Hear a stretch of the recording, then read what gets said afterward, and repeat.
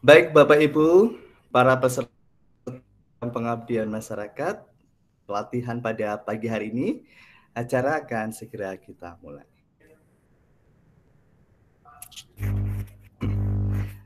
Bismillahirrahmanirrahim. Assalamualaikum warahmatullahi wabarakatuh. Waalaikumsalam warahmatullahi wabarakatuh. Selamat pagi dan salam sejahtera untuk kita semuanya. Yang terhormat Koordinator Program Studi S2 Pendidikan IPS Universitas Negeri Surabaya, yang terhormat Ketua MKMP IPS Kabupaten Mojokerto, yang terhormat Bapak Ibu dosen Program Studi S2 Pendidikan IPS Universitas Negeri Surabaya, dan para peserta pelatihan yang berbahagia. Puji syukur kita panjatkan kehadirat Tuhan Yang Maha Kuasa pada hari ini Selasa 1 Agustus 2023 berlangsung secara daring pelatihan penyusunan model pembelajaran IPS berbasis kearifan lokal untuk mendukung kurikulum merdeka bagi MGMP IPS Kabupaten Mojokerto. Kegiatan ini diselenggarakan oleh tim pengabdian masyarakat program studi S2 Pendidikan IPS Universitas Negeri Surabaya. Baik Bapak Ibu para peserta yang berbahagia mengawali kegiatan pada hari ini. Marilah kita buka kegiatan hari ini dengan bacaan basmalah. Bismillahirrahmanirrahim. Selanjutnya menyanyikan lagu kebangsaan Indonesia Raya.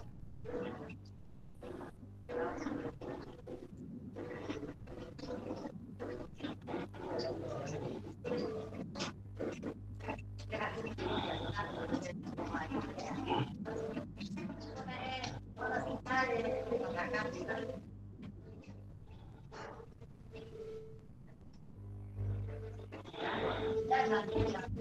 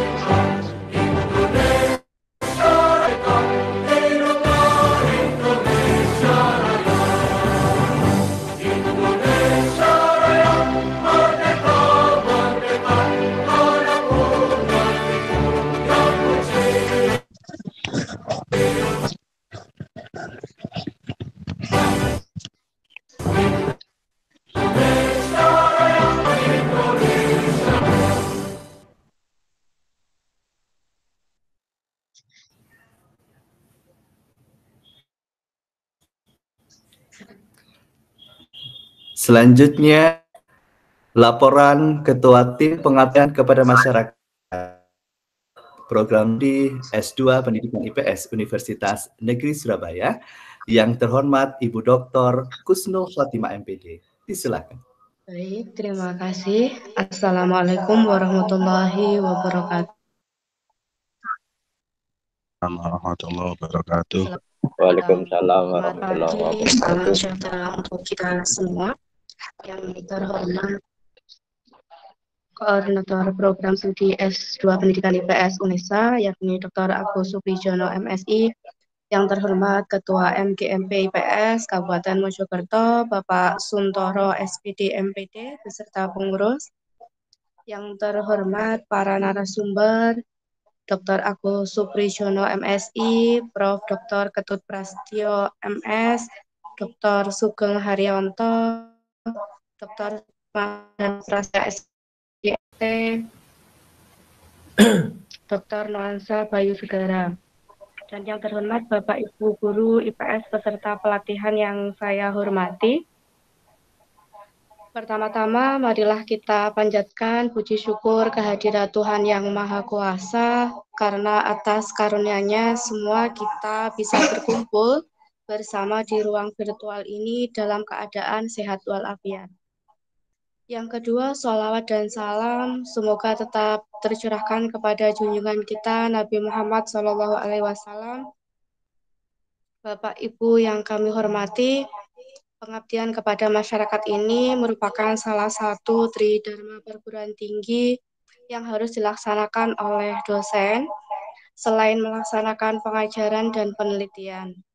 Pada tahun ini, program studi S2 Pendidikan IPS UNESA bekerja sama dengan MGMP IPS Kabupaten Mojokerto melaksanakan pelatihan penyusunan model pembelajaran IPS berbasis kearifan lokal untuk mendukung implementasi kurikulum merdeka bagi guru IPS SMP se-Kabupaten Mojokerto. Pelatihan ini dilaksanakan secara hybrid in-on-in, yaitu secara daring dan luring.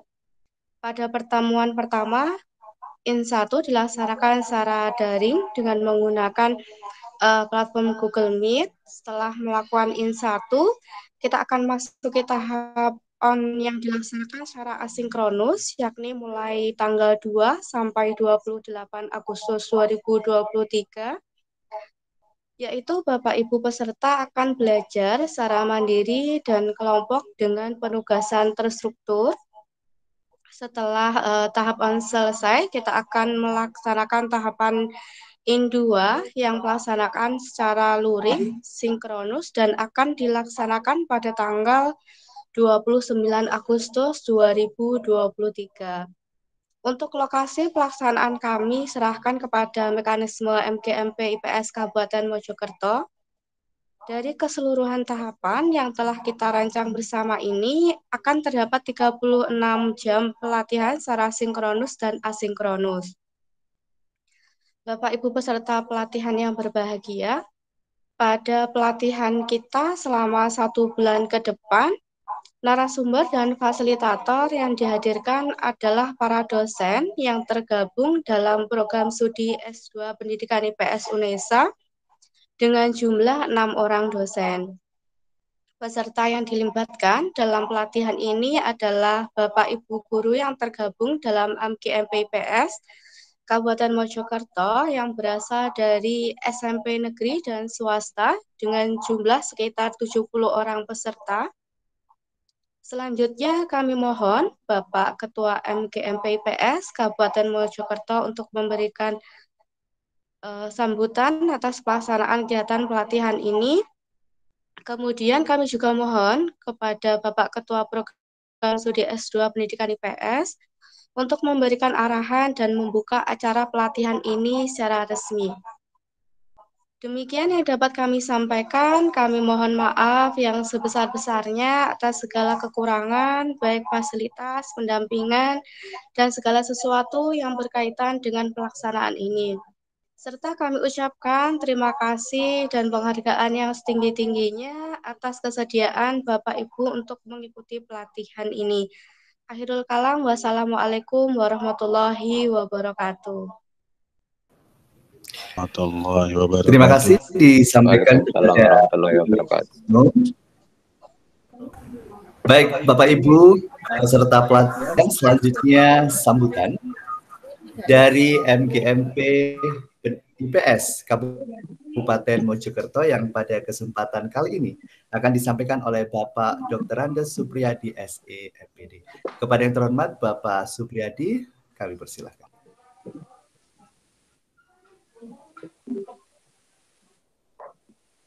Monggo Pak Supri. Wiriati. Siap. Assalamualaikum warahmatullahi wabarakatuh. Bismillah, alhamdulillah, la. Yang saya hormati tim pengabdian pada masyarakat program studi S2 Pendidikan IPS Universitas Surabaya, Negeri Surabaya, dalam pelatihan penyusunan model pembelajaran IPS berbasis kearifan lokal untuk mendukung kurikulum merdeka bagi MGMP IPS. Tentunya mari kita bersama-sama mengawali dengan ucapan syukur atas kenikmatan yang diberikan Allah untuk tetap berjuang di bidang pendidikan, terkhusus untuk tim pengabdian masyarakat dari Universitas Negeri Surabaya ini yang luar biasa, memberikan ilmu-ilmunya kepada Bapak Ibu Guru di Kabupaten Mojokerto, terkhusus Mapel IPS. Yang saya hormati Bapak Dr. Agus Supriyono MSI, yang saya hormati Bapak Dr. Sukma P. Prastio SPD MT, yang saya hormati Bapak Dr. Sugeng Haryanto MSI, terkhusus saya menghormati juga Profesor Dr. Ketut Prastio MS, dan Ibu Dr. Kusnul Khotimah MPD suatu kebahagiaan, suatu kebersamaan yang luar biasa yang patut kita apresiasi atas nama MGMP IPS. Yang pertama tentu mengucapkan terima kasih sebesar-besarnya kepada Bapak Ibu narasumber terkhusus pimpinan, unsur pimpinan dari pelaksanaan kerjasama yang luar biasa antara Universitas Negeri Surabaya program S2 Pendidikan IPS yang telah berkenan memberikan kesempatan teman-teman MBMP IPS Kabupaten Mojokerto untuk belajar menimba ilmu kepada senior-senior. Dan juga terima kasih Pak Suntoro Ketua MGMP IPS yang luar biasa mampu menjalin kerjasama membuka kesempatan kepada teman-teman untuk belajar, memberikan menerima ilmu dari senior-senior yang tentunya akan memberikan nilai positif, nilai pengembangan bagi keterampilan atau kompetensi Bapak Ibu Guru IPS di Kabupaten Mojokerto. Sekali lagi ucapan terima kasih dan mohon maaf apabila segala hal yang ada kekurangannya nanti di antara peserta ini mungkin ada berkata dan seterusnya sebelumnya saya mohon maaf yang sebesar-besarnya. Sekali lagi selamat sukses Eh, mudah-mudahan dalam pelaksanaan ini berjalan lancar mulai awal sampai akhir dan tentunya sekali lagi dukungan dari teman-teman guru IPS saya ajak bersama-sama untuk mengikuti dengan baik, dengan seksama, dengan penuh semangat, motivasi untuk belajar, belajar selama kita masih hidup, kita tetap harus belajar dan belajar. Itu saja yang bisa saya sampaikan. Hormat kami untuk semuanya para narasumber, saya kiri. Assalamualaikum warahmatullahi wabarakatuh. Waalaikumsalam warahmatullahi wabarakatuh. Baik, disampaikan terima kasih. Selanjutnya, sambutan sekaligus berkenan membuka acara secara resmi yang akan disampaikan oleh Koordinator Program Studi S2 Pendidikan IPS, yang terhormat Bapak Dr. Agus Supriyono MSI, disilakan. Assalamualaikum warahmatullahi wabarakatuh. Waalaikumsalam warahmatullahi wabarakatuh. Waalaikumsalam warahmatullahi wabarakatuh. Puji syukur kita panjatkan.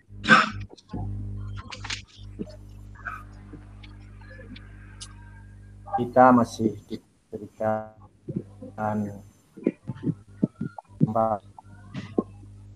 kesempatan untuk bersilaturahim kita bisa mengambil manfaat dari apa yang kita bagikan rakyat dosen-dosen S2 Pendidikan IPS. Yang saya hormati Pak Supriyadi selaku pembina MGMP ini Ketua MGMP IPS Mojokerto Pak Suntoro yang saya hormati Bapak Ibu Guru MGMP IPS Kabupaten Mojokerto serta para kolega narasumber pada hari ini. Saya masih ingat ketika Pak Suntoro bertemu saya di Gria Ciptaning Api di Villa di Panjang. Pada itu tepatnya dua 3 Juli Kuntoro tahun lalu kemudian merancang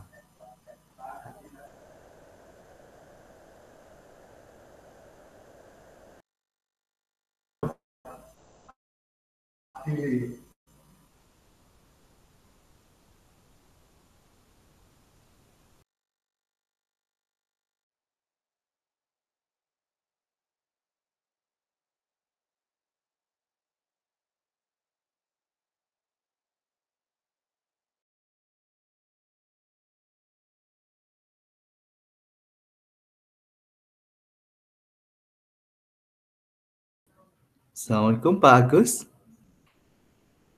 Sepertinya terputus. Kita tunggu sejenak Bapak Ibu untuk memulihkan jaringan.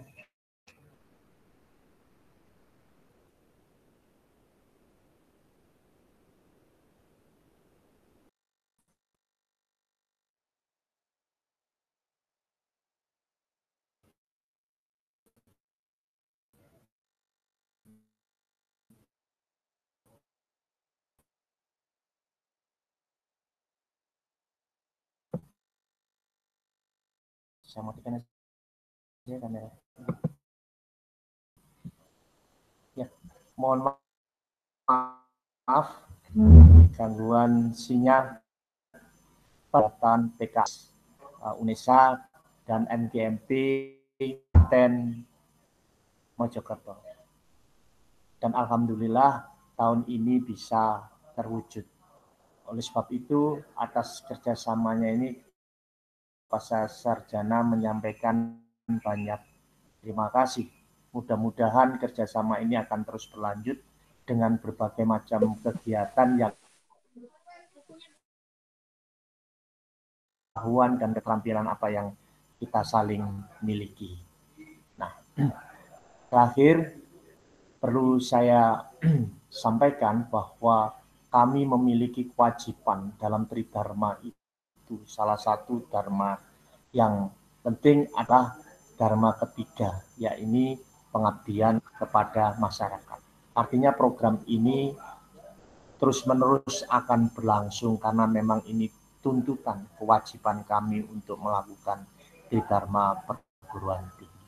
Mudah-mudahan ke depan kita bisa menawarkan satu kegiatan lagi, tidak hanya dalam bentuk workshop, mungkin kegiatan lain yang mungkin dibutuhkan oleh teman-teman MGMP Kabupaten IPS Kabupaten Mojokerto. Ya. Tentu dengan uh, kerjasama seperti ini kami juga bisa mendapatkan suatu manfaat.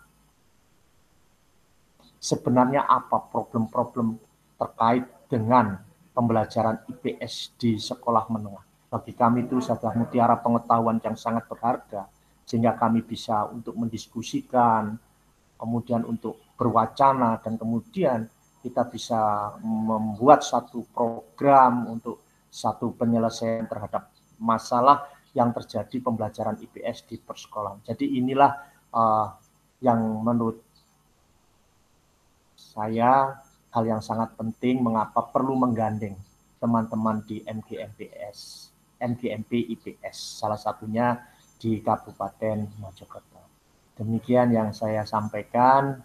Mudah-mudahan pelaksanaan hari ini dilancarkan, dimudahkan oleh Allah.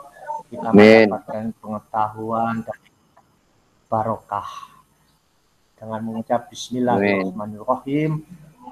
Workshop PKM pengabdian kepada masyarakat program studi S2 PIPS Universitas Negeri Surabaya saya buka.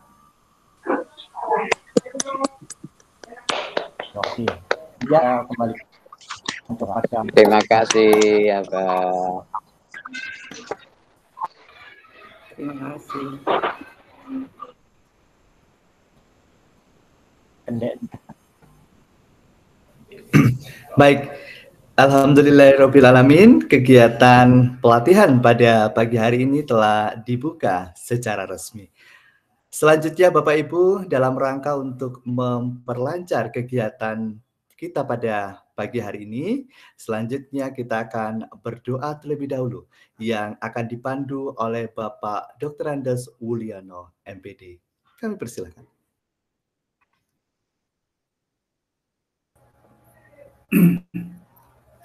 Bismillahirrahmanirrahim. Assalamualaikum warahmatullahi wabarakatuh.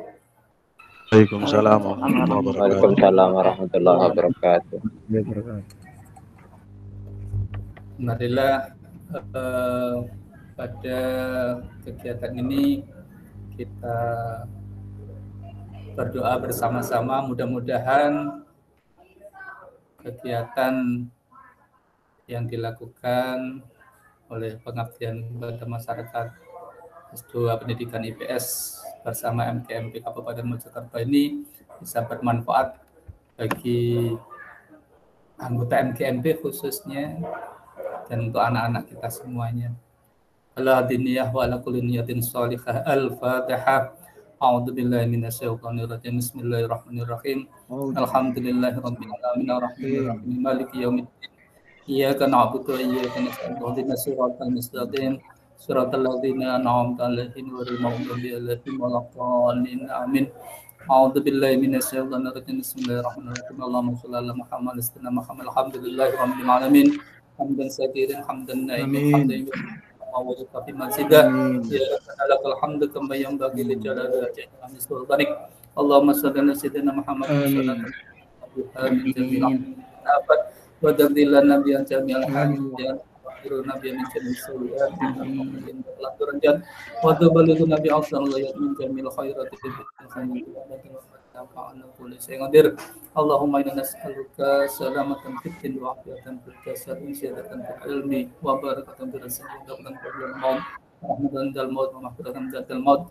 اللهم هون علينا في سكرة الموت نجد من النار وأفضل الغساب ربنا لا ربنا وتعالى وأهلنا من رحمة إنك أنت الوهاب ربي زدني علما وارزقني فهما ربنا آتنا من لدنك رحمة وهيئ لنا من أمرنا رشدا ربنا آتنا في الدنيا حسنة وفي الآخرة حسنة وقنا عذاب النار سبحان ربك رب العزة عما يصفون سلاما على المرسلين والحمد لله رب العالمين Amin. Alhamdulillah.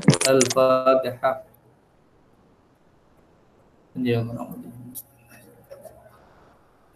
Assalamualaikum warahmatullahi wabarakatuh. Waalaikumsalam. Warahmatullahi wabarakatuh. Alhamdulillahirrahmanirrahim. Semoga kegiatan yang akan kita lakukan, pelatihan pada pagi hari ini sampai dengan selesai diberikan kemudahan dan kelancaran oleh Allah SWT. Amin, amin ya robbal alamin. Baik, Bapak Ibu, para peserta pelatihan yang kami hormati, kita masuk kepada kegiatan inti pelatihan kita pada pagi hari ini dan kegiatan ini akan dipandu oleh moderator Bapak Katon Galistiawan, Esos M. Susio. Assalamualaikum Pak Katon. Waalaikumsalam warahmatullahi wabarakatuh. Pak Ali, selamat pagi. Apa Baik. kabar? Selamat pagi Pak Katon, sehat-sehat ya. Baik, Pak Katon selanjutnya untuk pelatihan pada pagi hari ini kami kami silakan kepada Pak Katon untuk memandu acara pelatihan. Dari saya dari kami cukup. Terima kasih. Wabillahi taufiq wal hidayah. Assalamualaikum warahmatullahi wabarakatuh. Waalaikumsalam warahmatullahi. Wabarakatuh. Bismillahirrahmanirrahim. Assalamualaikum warahmatullahi wabarakatuh. Waalaikumsalam warahmatullahi wabarakatuh. Selamat pagi, salam sejahtera untuk kita semua. Salam, Om Swastiastu, Namo Buddhaya, Rahayu Sagung Dumati. Yang terhormat Ketua eh, maaf, Koordinator Program Studi S2 Pendidikan IPS Bapak Dr. Agus Supriyono MSI. Yang saya hormati Ketua Tim Pengabdian kepada Masyarakat S2 Pendidikan IPS, Ibu Dr. Husnul Khotimah SPD MPD. Yang saya hormati eh, pembina Ketua dan Pengurus MGMP IPS Kabupaten Mojokerto yang saya hormati Bapak Ibu Guru eh, MGMP IPS Kabupaten Mojokerto. Pada hari ini untuk eh, sesi penyampaian materi akan saya pandu. Yang pertama ini nanti eh, mohon maaf ini nanti dengan Pak Agus terlebih dahulu atau Pak Sugeng Ini Pak Sugeng kelihatannya sudah hadir Pak Agus. Monggo, terserah saya siap. Pak Pak Pak Sugeng apa berkenan yang pertama atau yang kedua Pak Sugeng? Boleh, Mas. Yang pertama aja Pak Sugeng. Nggih, boleh. Oke. Agus mohon izin untuk Pak Sugeng terlebih dahulu karena Pak Dir Pak akan rapat. Oke. Baik. Biasanya biasanya Pak Koordinator Prodi itu ngalah biasanya. Iya, Koordinator. Iya. Jadi karena Pak Sugeng hari ini akan ada Saya Pak agenda lain. Direktur ini sibuk ya. Iya. Iya, Karena jam 10 nanti jam ada- jam 10 ada acara dengan ini dengan IPS. J, baik. Terima kasih Pak Sugeng. Saya mulai. Eh, sebelum Pak Sugeng menyampaikan materi, Bapak Ibu saya akan bacakan sedikit kurikulum vitae dari eh, Pak Sugeng. Eh, saya akan bacakan nama lengkap Dr. Sugeng Haryanto MSI. Eh, S1 beliau menyelesaikan pendidikannya di program studi sosiologi Universitas Erlangga. S2 menyelesaikan pendidikannya di program Magister Ilmu-Ilmu Sosial Universitas Erlangga. S3 eh, diselesaikan di program studi Doktor Ilmu Sosiologi Universitas Brawijaya Malang. Saat ini beliau menjabat sebagai Direktur Perencanaan Universitas Negeri Surabaya. Sebelumnya pernah menjabat sebagai eh, Ketua Program Studi S1 Sosiologi dan Ketua Jurusan Ilmu Sosial di Fakultas Ilmu Sosial dan Hukum Universitas Negeri Surabaya. Beliau saat ini juga tercatat sebagai dosen pengampu eh, di mata kuliah di S2 Pendidikan IPS Universitas Negeri Surabaya. Itu kurikulum kita singkat yang bisa saya sampaikan dari pembicara yang pertama eh, Bapak Dr. Sugeng Haryanto. Selanjutnya untuk penyampaian materi kami serahkan waktu dan layar kepada Bapak Dr. Sugeng Haryanto MSI. Monggo Bapak.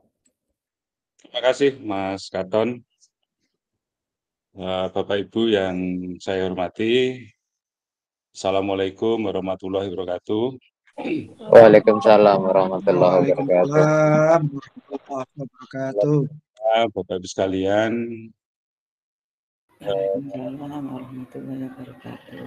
dahulu kita atau saya mengucapkan syukur Alhamdulillah bisa bertemu dengan Bapak Ibu guru di wilayah Kabupaten Bojon apa Kabupaten Mojokerto Mojokerto. untuk melaksanakan kegiatan eh, pengabdian kepada masyarakat yang dilakukan oleh eh, program studi S2 Pendidikan IPS Universitas Negeri Surabaya.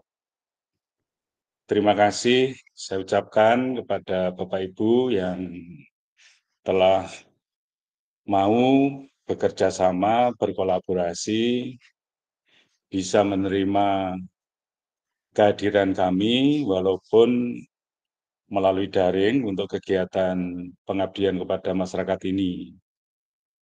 Jadi mudah-mudahan ini bukan awal dan bukan akhir dari pertemuan kita, tetapi ini bisa dilakukan eh, secara berkelanjutan, ya. Jadi Bapak Ibu yang saya hormati, tadi saya sudah diperkenalkan oleh Mas Katon. Jadi saya eh, sehari-hari menjadi dosen pada program studi S2 Pendidikan IPS. Selain itu, saya juga mengajar di program studi S1 Sosiologi Universitas Negeri Surabaya. Jadi saya dari dua prodi. Bapak Ibu yang saya hormati, saya oleh Mbak Nurul diminta untuk menyampaikan materi terkait dengan eh, kearifan lokal, ya. kearifan lokal eh, yang dilihat dari perspektif sosiologi. Jadi nanti saya akan lebih banyak menjelaskan bagaimana sosiologi secara teoritis, secara konseptual itu melihat atau menganalisis eh, kearifan lokal. Saya diberi waktu 45 menit. Jadi 45 menit ini eh, dari sekarang ya, 45 menit dari sekarang saya akan mencoba menyampaikan dan ini saya eh, terlebih dahulu mohon maaf bukan bermaksud saya me, menggurui ya, menggurui Bapak Ibu uh, guru yang mungkin sudah mengenal, sudah memahami uh, konsep teori-teori sosiologi, tetapi saya ingin mengajak pada Bapak Ibu untuk bagaimana uh, menggunakan uh, konsep, menggunakan teori-teori sosiologi itu untuk mengkaji uh, kearifan lokal. Ya, nanti kita juga akan mendiskusikan, ya, mendiskusikan bagaimana kearifan lokal di Kabupaten Bojonegoro, eh, di Kabupaten Mojokerto, mohon maaf saya kok sering salah dengan Bojonegoro ya. Karena saya ngajar eh, RPL di Bojonegoro itu sehingga lebih mengenal Bojonegoro daripada Mojokerto. Ya, karena sama-sama rohnya itu ya. Eh, bagaimana keberadaan atau eksistensi kearifan lokal di wilayah Mojokerto itu di tengah-tengah serbuan globalisasi gitu ya. Ini yang nanti juga akan saya uh, coba untuk mengajak Bapak Ibu supaya atau agar memiliki kesadaran ya, memiliki kesadaran bagaimana tanggung jawab seorang guru itu maha berat ya, sangat berat ya sekarang ini. Ya. Bagaimana mentransformasikan, bagaimana mensosialisasikan nilai-nilai kearifan lokal itu kepada peserta didik. Sementara peserta didik di lain sisi itu memiliki zaman yang berbeda dengan lahirnya atau keberadaan kearifan lokal itu yang nanti pasti ada perdebatan, pasti ada apa eh, pergulatan di mana eh, pergulatan antar zaman ya, antar zaman, antar era itu itu terjadi sekarang ini. Sebelum saya masuk ke jauh ke sana, eh, saya ingin menyampaikan eh, ya apa sih eh, ada yang nyebut sebagai uh, local wisdom ya kearifan lokal ada yang menyebut sebagai lokal genius ada yang menyebut sebagai lokal culture apa lokal genius, uh, lokal wisdom, lokal culture itu sebenarnya tidak lain adalah bagian dari dari kebudayaan sebenarnya. Ya. Uh, jadi apa itu lokal wisdom? Lokal wisdom itu ya uh, sejumlah atau sekumpulan karakteristik budaya gitu ya yang dimiliki oleh uh, mayoritas masyarakat ya yang mempunyai apa nilai-nilai bersama yang kemudian menghasilkan uh, yang itu uh, menghasilkan sebuah sebuah uh, pengalaman bersama gitu ya. Eh, ada juga yang menyebutnya sebagai lokal jenius ya. Jadi lokal jenius itu eh, bisa diartikan sebagai uh, sebuah kemampuan ya, sebuah kemampuan oleh uh, pendukung sebuah kebudayaan untuk memberikan bagaimana apa bagaimana kekuatan basic kebudayaannya itu itu uh, ketika menghadapi uh, akulturasi budaya. Jadi ada ada sebuah sebuah kemampuan dari dari pendukung kebudayaan itu ketika uh, menghadapi akulturasi budaya tentu saja kebudayaan asing ya. Uh, kemudian uh, lokal lokal culture itu uh, dipahami sebagai seperangkat perilaku keyakinan, adat istiadat yang keberadaannya ada di sebuah negara, ya. kemudian bagaimana uh, menunjukkan uh, mulai dari cara makan, mulai dari cara berpakaian, kemudian dari cara bekerja, kemudian bagaimana cara berkomunikasi, itu uh, ada di di masing-masing kebudayaan lokal. Ya. Tentu saja apakah itu lokal wisdom, apakah itu lokal jenius, apakah itu lokal culture, itu tentu di Mojokerto ada ya. Di Kabupaten Mojokerto itu ada. Nah, kemudian eh,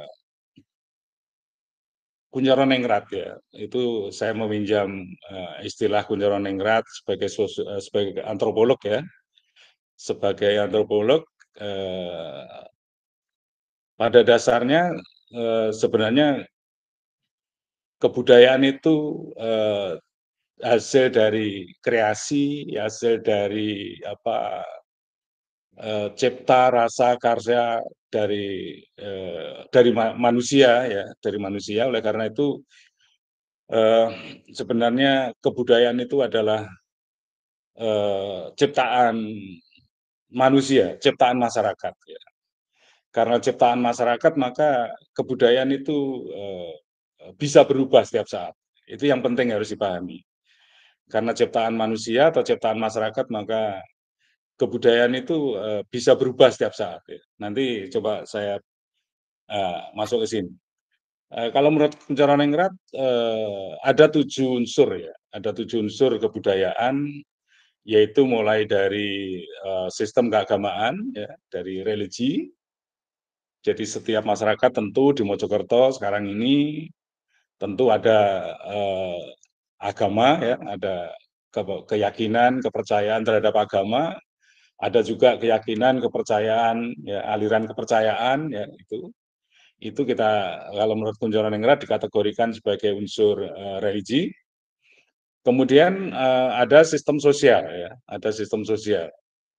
Sistem sosial itu misalnya uh, di Mojokerto tentu ada namanya uh, apa Eh, misalnya pernikahan ya, pernikahan, adat istiadat pernikahan, eh, kemudian ada apa eh, kegiatan-kegiatan sosial yang lain itu kemudian ada pengetahuan lokal ya, ada sistem pengetahuan, tentu ada ada ada pengetahuan-pengetahuan lokal yang ada di Mojokerto, bahasa, apakah bahasa Indonesia, apakah bahasa Jawa, atau mungkin di Mojokerto ada bahasa yang khas gitu ya, Kemudian ada kesenian, nah, nanti saya tunjukkan beberapa di antaranya. Kemudian ada mata pencarian dan ada sistem peralatan. Ini yang, ke, ya. Kunjoro Nengrat mencoba untuk menata ya, men, mencoba untuk menata, mengurutkan ya uh, tujuh unsur kebudayaan ini mulai dari yang abstrak sampai yang konkret ya. Yang abstrak itu agama, itu abstrak ya. Kemudian yang paling konkret itu adalah sistem peralatan. Ini diurutkan. Ya. Mengapa kok diurutkan? Karena Kunjungan Nengrat menjelaskan bahwa eh, semakin abstrak unsur kebudayaan itu semakin sulit untuk berubah. Ya. Semakin konkret unsur kebudayaan itu semakin mudah berubah. Jadi kalau eh, kalau peralatan misalnya berupa teknologi, misalnya eh, berupa gadget, HP dan seterusnya itu itu uh, kan teknologi yang setiap saat berubah ya. Teknologi pesawat terbang setiap saat berubah, teknologi mobil mobil setiap saat berubah. Itu mudah berubah. Nah, ini kalau agama itu sebaliknya. Itu adalah unsur kebudayaan yang maturun Ibu. Unsur kebudayaan yang susah untuk berubah. Jadi yang namanya agama kan tidak mudah berubah. Kalau ada pihak-pihak yang mencoba untuk mengubah saja, itu tentu akan menimbulkan reaksi dari pemeluknya gitu ya.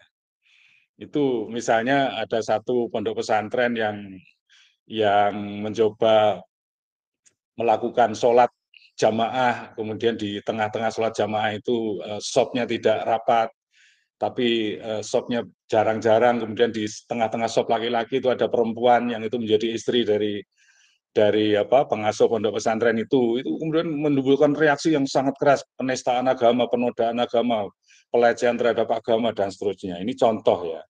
Karena pemeluk agama itu mencoba untuk mempertahankan uh, keaslian ya. Keaslian ajaran itu. Ini contoh. Tapi kalau misalnya uh, sekarang bapak ibu membeli HP dengan tipe tertentu dan kemudian besok ternyata muncul tipe yang lain itu itu menunjukkan bahwa uh, sistem peralatan itu. Uh, Mohon maaf Pak Sugeng, ini PowerPoint-nya masih belum jalan sih, masih di slide pertama. Masih slide oh, pertama. Masih slide pertama ya? Uh, ya mohon maaf, mohon maaf. Berarti saya tidak perlu. Uh, ini biasanya kalau Google Meet itu memang uh, tidak bisa untuk untuk ini slideshow ya. Ya sudah saya saya begini aja. Sudah kelihatan nggih? Sudah Bapak, jelas nggih. Sudah. Nah, Untung saya diingatkan moderator. Terima kasih, anu Mas moderator. Ya, Kunjara Ningrat kemudian me, me, membagi atau mengelompokkan kebudayaan itu dalam tiga bentuk ya, yaitu bentuknya yang culture system, bentuknya yang social system, dan bentuknya yang artefak ya. Jadi eh, ini kalau digambarkan sebenarnya bentuknya seperti lingkaran konsentris. Nah, dalam lingkaran konsentris itu uh, culture system itu ada pada lingkaran paling dalam. Kemudian lingkaran tengahnya itu social system dan lingkaran paling luar itu adalah artefak. Nah, antara bentuk yang satu dengan bentuk yang lain ya itu saling berhubungan, saling terkait ya.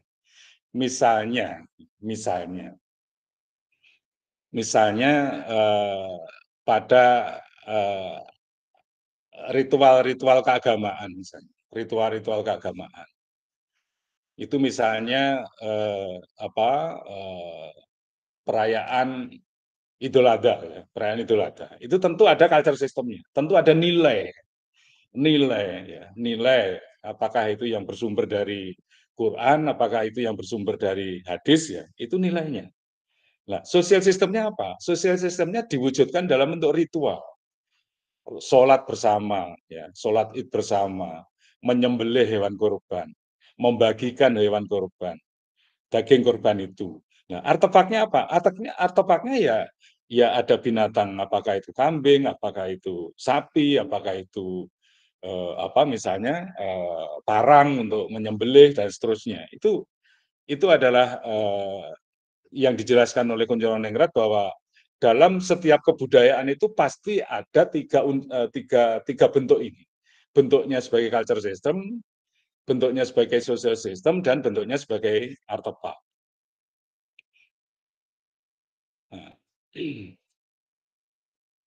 Kemudian saya ingin mengajak Bapak Ibu untuk secara teoritis ya.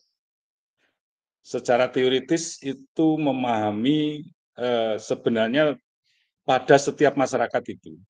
Pada setiap masyarakat itu kalau kita lihat dari cara berpikirnya, maka menurut Agus Kom misalnya, berdasarkan cara berpikir yang dikembangkan oleh sebagian besar anggota masyarakat, maka tahapan ya masyarakat itu eh, perkembangannya itu bisa dibagi ke dalam tiga tahapan.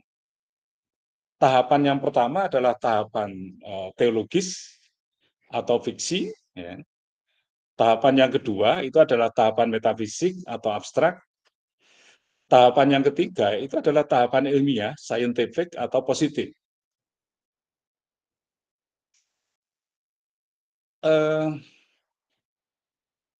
tahapan teologis itu dijelaskan oleh Agus Kom itu tahapan masyarakat apa sebelum ya sebelum uh, tahun 1300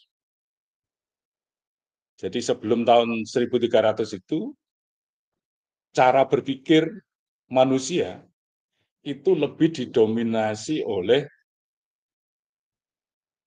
cara berpikir teologis. Segala sesuatu segala sesuatu itu dikaitkan dengan keyakinan, ya, dikaitkan dengan keyakinan terhadap kekuatan-kekuatan supranatural.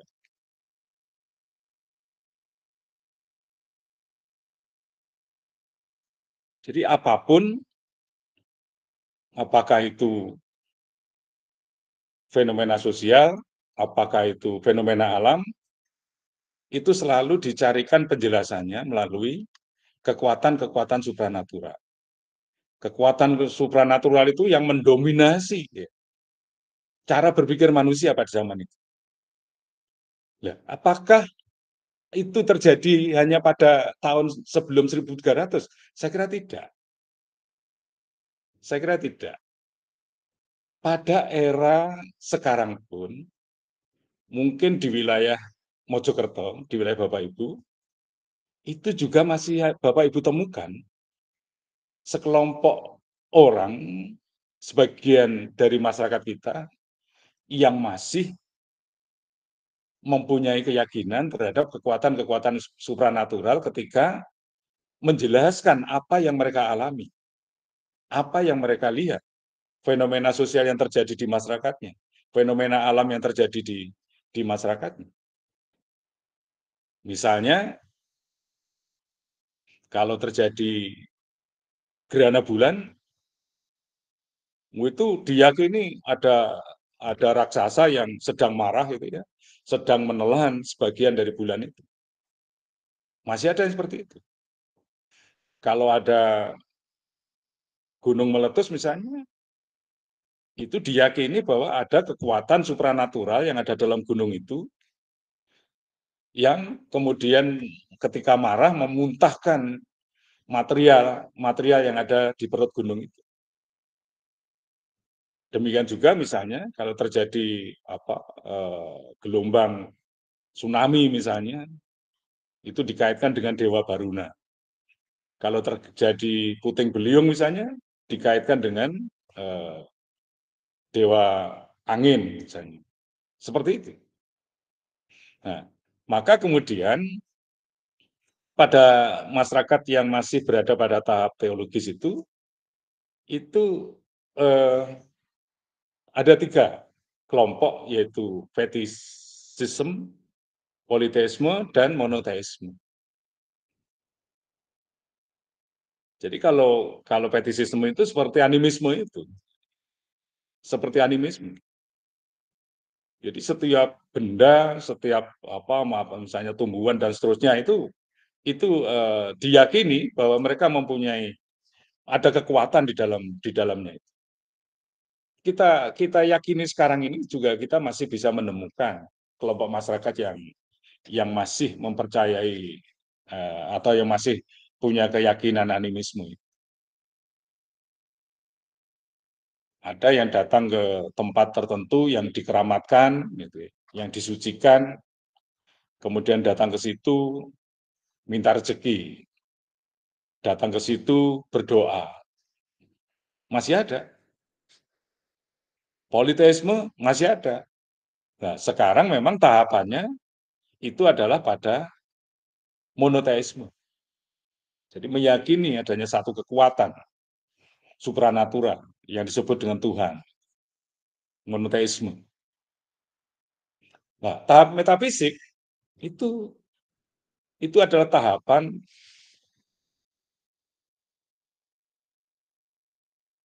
itu adalah tahapan di mana masyarakat meyakini adanya kekuatan-kekuatan abstrak,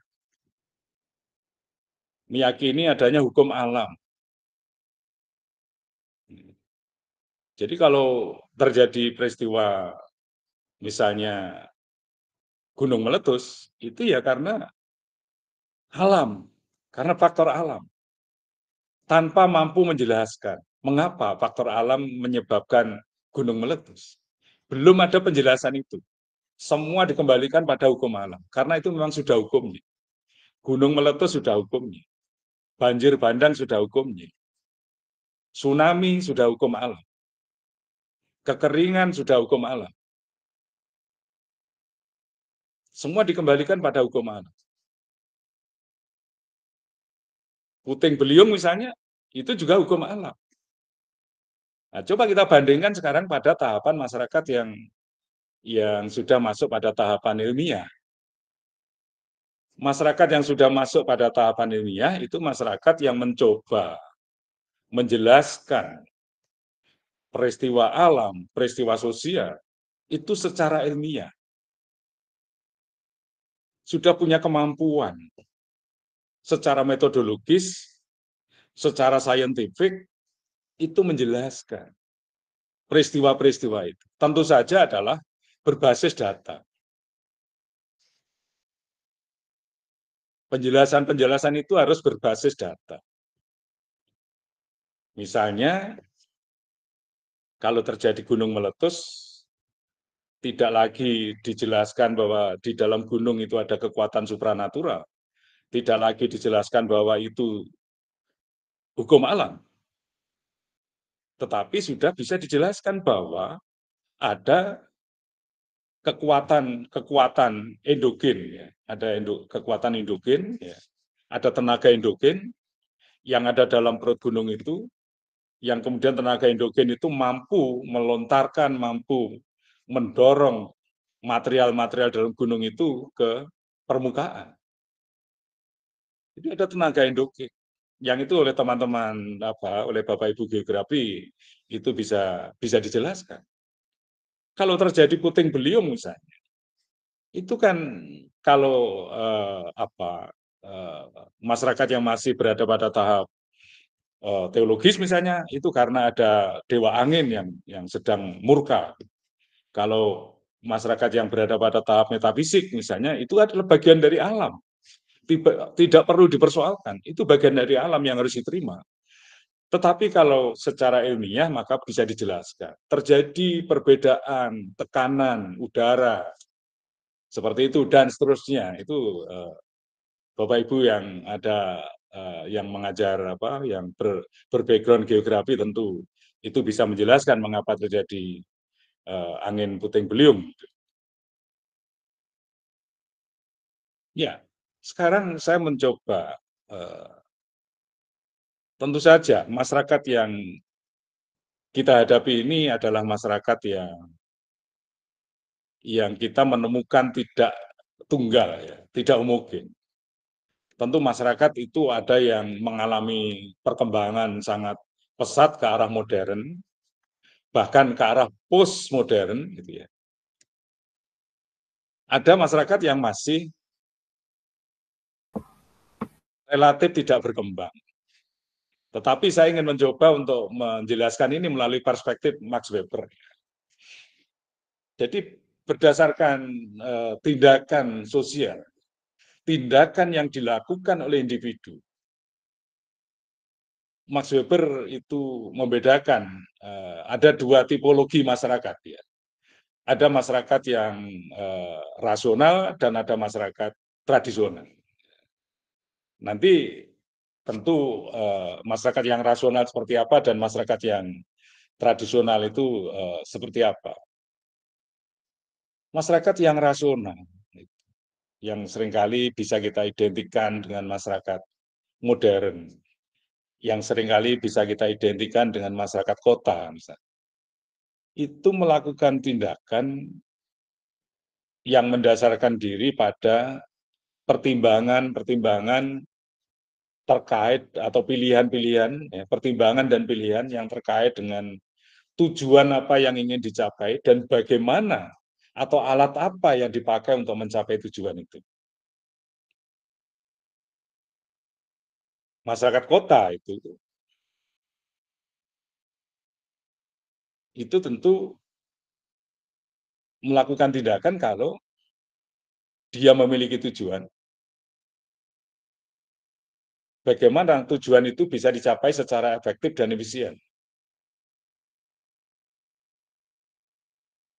Masyarakat kota misalnya ya kalau tidak ada kepentingan dengan orang lain, maka dia tidak mau bertemu dengan orang lain. Karena itu dianggap tidak efisien. Tidak menghasilkan keuntungan. Dia hanya mau berhubungan dengan orang lain, menjalin relasi dengan orang lain, kalau dia memiliki tujuan. Dan tujuan itu harus mendatangkan keuntungan. Nah, bagaimana sekarang cara mencapai tujuan itu? Dipilihlah cara yang efektif, cara yang efisien. Kalau menggunakan teknologi komunikasi melalui platform media sosial, itu bisa dilakukan untuk menjalin relasi bisnis, untuk berhubungan dengan orang lain. Mengapa harus face to face? Mengapa harus tatap muka?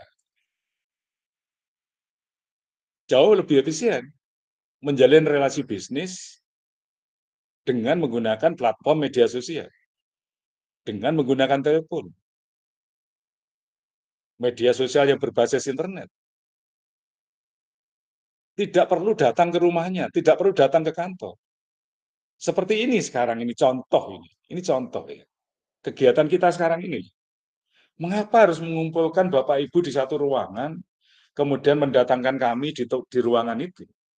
Kalau komunikasi kita sekarang ini bisa dimediasi oleh platform Google Meet misalnya, atau platform Zoom Meeting misalnya. Kenapa harus datang? Lebih efisien, menghemat biaya, lebih efektif. Itu masyarakat rasional. Nah, tentu cara-cara yang digunakan oleh masyarakat rasional itu tidak bisa kita pakai untuk masyarakat tradisional. Kalau masyarakat kota misalnya mengucapkan selamat Hari Raya Idul Fitri, mengucapkan selamat ulang tahun misalnya, Idul Fitri misalnya, itu cukup menggunakan media sosial. Cukup menggunakan Instagram, cukup menggunakan WhatsApp. Cukup. Dan yang dikirimi pesan ucapan itu juga bisa menerima. Karena memang sudah menjadi bagian kehidupan masyarakat itu. Coba kalau misalnya pada masyarakat tradisional. Ucapan selamat dari Raya Idul Fitri pada orang tua memang harus datang. Harus datang ke rumahnya. Harus menginap di situ beberapa hari. Mungkin kita datang aja nggak nginap aja menjadi pertanyaan kok. Mengapa tidak menginap? Biasanya menginap. Mengapa hanya menginap satu malam? Biasanya tiga, empat, lima malam. Itu sudah menjadi pertanyaan. Apalagi menggunakan, mengucapkan selamat Hari Raya Idul Fitri menggunakan platform media sosial. Dianggap melanggar norma-norma sosial. Dianggap melanggar local wisdom. Mengapa seperti itu? Karena masyarakat tradisional itu jika bertindak itu mendasarkan kebiasaan-kebiasaan masa lampau. Saya ulangi, masyarakat tradisional itu melakukan tindakan berdasarkan kebiasaan-kebiasaan masa lampau. Saya pernah mengalami peristiwa yang sebenarnya peristiwa itu bagi saya sebenarnya cukup membuat saya rasa membuat saya takut ya. Jadi pada saat saya SMP atau SMA itu saya diminta oleh ibu saya untuk mengirim makanan kepada yang akan diberikan pada pekerja yang di sawah, pada buruh tani. Di tengah perjalanan karena saya naik sepeda angin itu, makanan yang saya bawa karena saya jatuh ya, sepeda saya terpleset jatuh, kemudian makanan itu tumpah ruah ke jalan. Saya takut karena saya tahu bahwa di rumah sudah tidak ada lagi makanan cadangan. Saya pulang ke rumah itu me, me, me, me, mengalami ketakutan menyampaikan kepada ibu bahwa makanannya tumpah di jalan. Apa respon ibu saya? Ibu saya tidak marah pada saya. Ibu saya semacam diingatkan bahwa ibu saya belum melaksanakan kewajiban untuk melakukan ritual sebelum memulai musim tanam. Karena apa? Pada tahun-tahun sebelumnya, pada kakek nenek saya itu melakukan ritual sebelum melakukan, sebelum memulai musim tanam. Jadi saya diuntungkan oleh local wisdom itu dengan peristiwa itu. Jadi ibu saya diingatkan, belum melakukan ritual, belum melakukan sesuatu, belum menaruh sesajen di sawah. Kok sudah memulai pekerjaan musim tanam? Akhirnya terjadilah peristiwa itu. Saya jatuh dari sepeda dan makanannya tumpah. Nah, masyarakat tradisional itu adalah masyarakat yang yang sangat kuat terikat pada tradisi. Jadi kalau kita tanya, mengapa melakukan ritual sebelum musim tanam? Mengapa melakukan ritual sebelum panen? Mengapa melakukan ritual pada saat bersih desa? Mengapa melakukan ritual pada saat misalnya tiga hari kematian, tujuh hari kematian, empat puluh hari kematian, seratus hari kematian. Kenapa? Jawabannya kemudian dikembalikan pada kebiasaan masa lampau. Kakek neneknya, buyut-buyutnya, orang tuanya, ketika memulai musim tanam melakukan selamatan. Ketika memulai musim panen melakukan selamatan tiga hari, tujuh hari, empat puluh hari, seratus hari, seribu hari, melakukan selamatan. Itu jawabannya.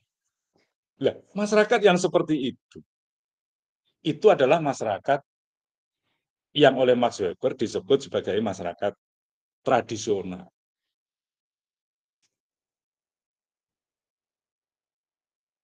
Ya, saya bergeser ke perspektif yang lain. Saya bergeser pada perspektifnya Emil Durkheim. Emil Durkheim itu membagi masyarakat dalam dua tipologi, yaitu masyarakat yang mempunyai solidaritas mekanik, masyarakat yang bersolidaritas mekanik, dan masyarakat yang bersolidaritas organik. Dua tipologi ini bisa nanti kita identikan yang solidaritas mekanik itu adalah masyarakat desa atau masyarakat tradisional, yang solidaritas organik itu adalah masyarakat kota atau masyarakat modern. Nah, Emil Durkheim membagi dua kelompok atau dua tipologi masyarakat ini berdasarkan pembagian pekerjaan, division of labor.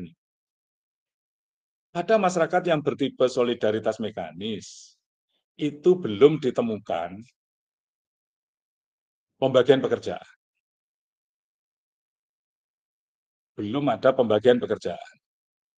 Karena belum ada pembagian pekerjaan, maka hanya ditemukan jenis-jenis pekerjaan tertentu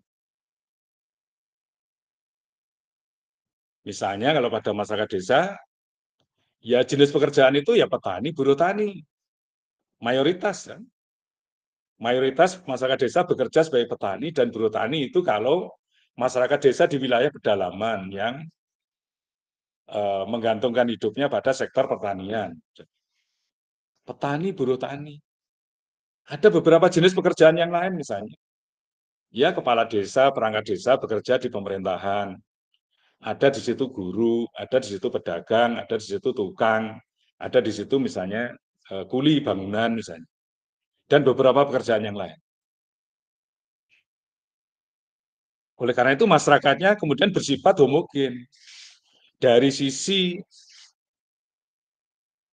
pembagian pekerjaan, masyarakatnya homogen. Nah, bandingkan dengan masyarakat yang bertipe solidaritas organik. Pembagian pekerjaannya sudah sangat tinggi, sudah sangat rigid.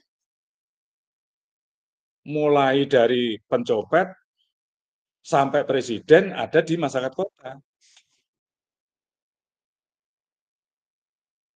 Ada pekerjaan-pekerjaan yang yang ada di bawah tanah itu pekerjaan-pekerjaan yang uh, ada kelompok masyarakat yang memang bekerja di di di jenis-jenis pekerjaan yang yang melanggar norma-norma sosial menjadi pencuri, menjadi perampok, menjadi pencopet, menjadi Mohon izin Pak Sugeng, waktu tinggal lima menit. Hah? Tinggal lima menit. menit. Iya. Waduh. Waduh. Bisa nambah nggak ini? Monggo nambah untuk eh, 10 menit. Oh, enggak, 10 menit ya. Nawar karena tadi habis untuk pembukaannya Pak Agus loh. Oke, jadi eh, tapi saya ingin mengatakan, saya ingin menjelaskan fokusnya pada masyarakat yang bertipe solidaritas mekanis ya.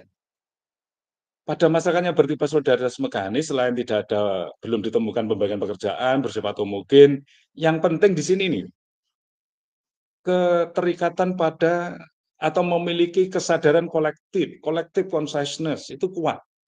Kolektif consciousness-nya kuat. Nah, kolektif consciousness-nya inilah yang mempersatukan yang mengintegrasikan masyarakat desa itu. Apa itu collective consciousness? Ya bisa berupa keyakinan agama, bisa berupa kepercayaan-kepercayaan, bisa berupa tindakan-tindakan kolektif yang lain, misalnya kerja bakti, gotong royong, saling tolong menolong.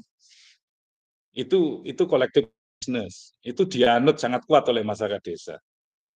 Kemudian kalau terjadi pelanggaran terhadap norma-norma sosial apa yang di, di, dilakukan oleh masyarakat desa? Masyarakat desa atau masyarakat yang bertipe solidaritas mekanis itu secara spontan menjatuhkan sanksi hukum yang sifatnya represif. Apa sanksi hukum yang sifatnya represif? Sanksi hukum yang memberikan nestapa, sanksi hukum yang memberikan penderitaan. Kalau terjadi pelanggaran terhadap norma-norma susila misalnya, maka kemudian diarak keliling desa, dibawa ke balai desa. Itu itu walaupun tidak ada kekerasan, tapi itu kekerasan simbolik kan gitu. Itu memberikan penderitaan, malu gitu ya. Kemudian individualitasnya lemah karena masyarakat yang bertipe solidaritas mekanik itu masyarakat yang komunal, tidak individual tapi komunal. Kemudian kesadaran terhadap pentingnya norma pola-pola normatif, pentingnya norma-norma sosial. Jadi ada USIK, ada Folkways, ada custom, ada MOS, itu menjadi sangat penting pada masyarakat desa. Kemudian keterlibatan anggota masyarakat untuk menjatuhkan sanksi pada orang yang melakukan pelanggaran norma-norma sosial. Diarak keliling tadi loh, diarak keliling desa tadi loh dirasani, digosipkan. Ini khas masyarakat desa, ngerasani, gosip, rasan-rasan. Kemudian saling ketergantungannya rendah, karena apa? Petani jika tidak mendapatkan buruh tani itu bisa dikerjakan sendiri untuk mengolah untuk apa pekerjaan-pekerjaan di sawah itu. Jadi nggak tergantung, nggak apa-apa nggak ada buruh tani, dikerjakan sendiri. Nah, masyarakat seperti ini masih masyarakat tradisional atau primitif. Nah, sekarang pertanyaannya bagaimana local wisdom itu disosialisasikan. Ini penting, ini tugas guru. Sebenarnya tugas guru atau tugas atau pekerjaan bagaimana local wisdom itu disosialisasikan kepada peserta didik itu sebenarnya bukan hanya tugas guru tapi juga tugas masyarakat kan, tugas orang tua. Nah, tapi yang saya ingin katakan ya bagaimana mentransformasikan nilai norma sosial itu kepada peserta didik, bagaimana mentransformasikan lokal wisdom pada peserta didik, itu bisa melalui sosialisasi primer dan bisa melalui sosialisasi sekunder. Sosialisasi primer itu sosialisasi yang dilakukan oleh keluarga di rumah, sementara sosialisasi sekunder itu sosialisasi yang dilakukan di luar rumah. Nah, siapa yang menjadi agen sosialisasi? Ya, keluarga yang pertama itu kan, seperti kalau bayi yang baru lahir itu kan seperti tabula rasa itu kan kertas putih. Ya. Nah, kertas putih itu mau diberi warna apa, mau ditulisi apa, digambari apa, gitu kan? Itu kan tergantung pada keluarga. Gitu. Itu pertama. Kemudian teman sebaya, ya peer group. Kemudian ada institusi pendidikan, ya, seperti Bapak Ibu lakukan di sekolah. Kemudian ada institusi politik, elit-elit politik di DPR sana memberi contoh yang tidak baik, korupsi, ya kan? Sering datang apa, sering mangkir datang rapat dan seterusnya itu kan menjadi contoh itu. Itu menjadi contoh yang baik bagi bagi orang lain. Kemudian institusi agama tentu agama akan mentransformasikan ajaran agamanya. Kemudian institusi ekonomi, ya, ada institusi ekonomi terkait misalnya dengan apa uh, dengan jual beli terkait dengan apa transaksi-transaksi. Nah, ini yang penting adalah media sosial dan media sos, uh, media massa. Itu itu menjadi agen sosialisasi yang yang sangat kuat ya. Yang sangat kuat.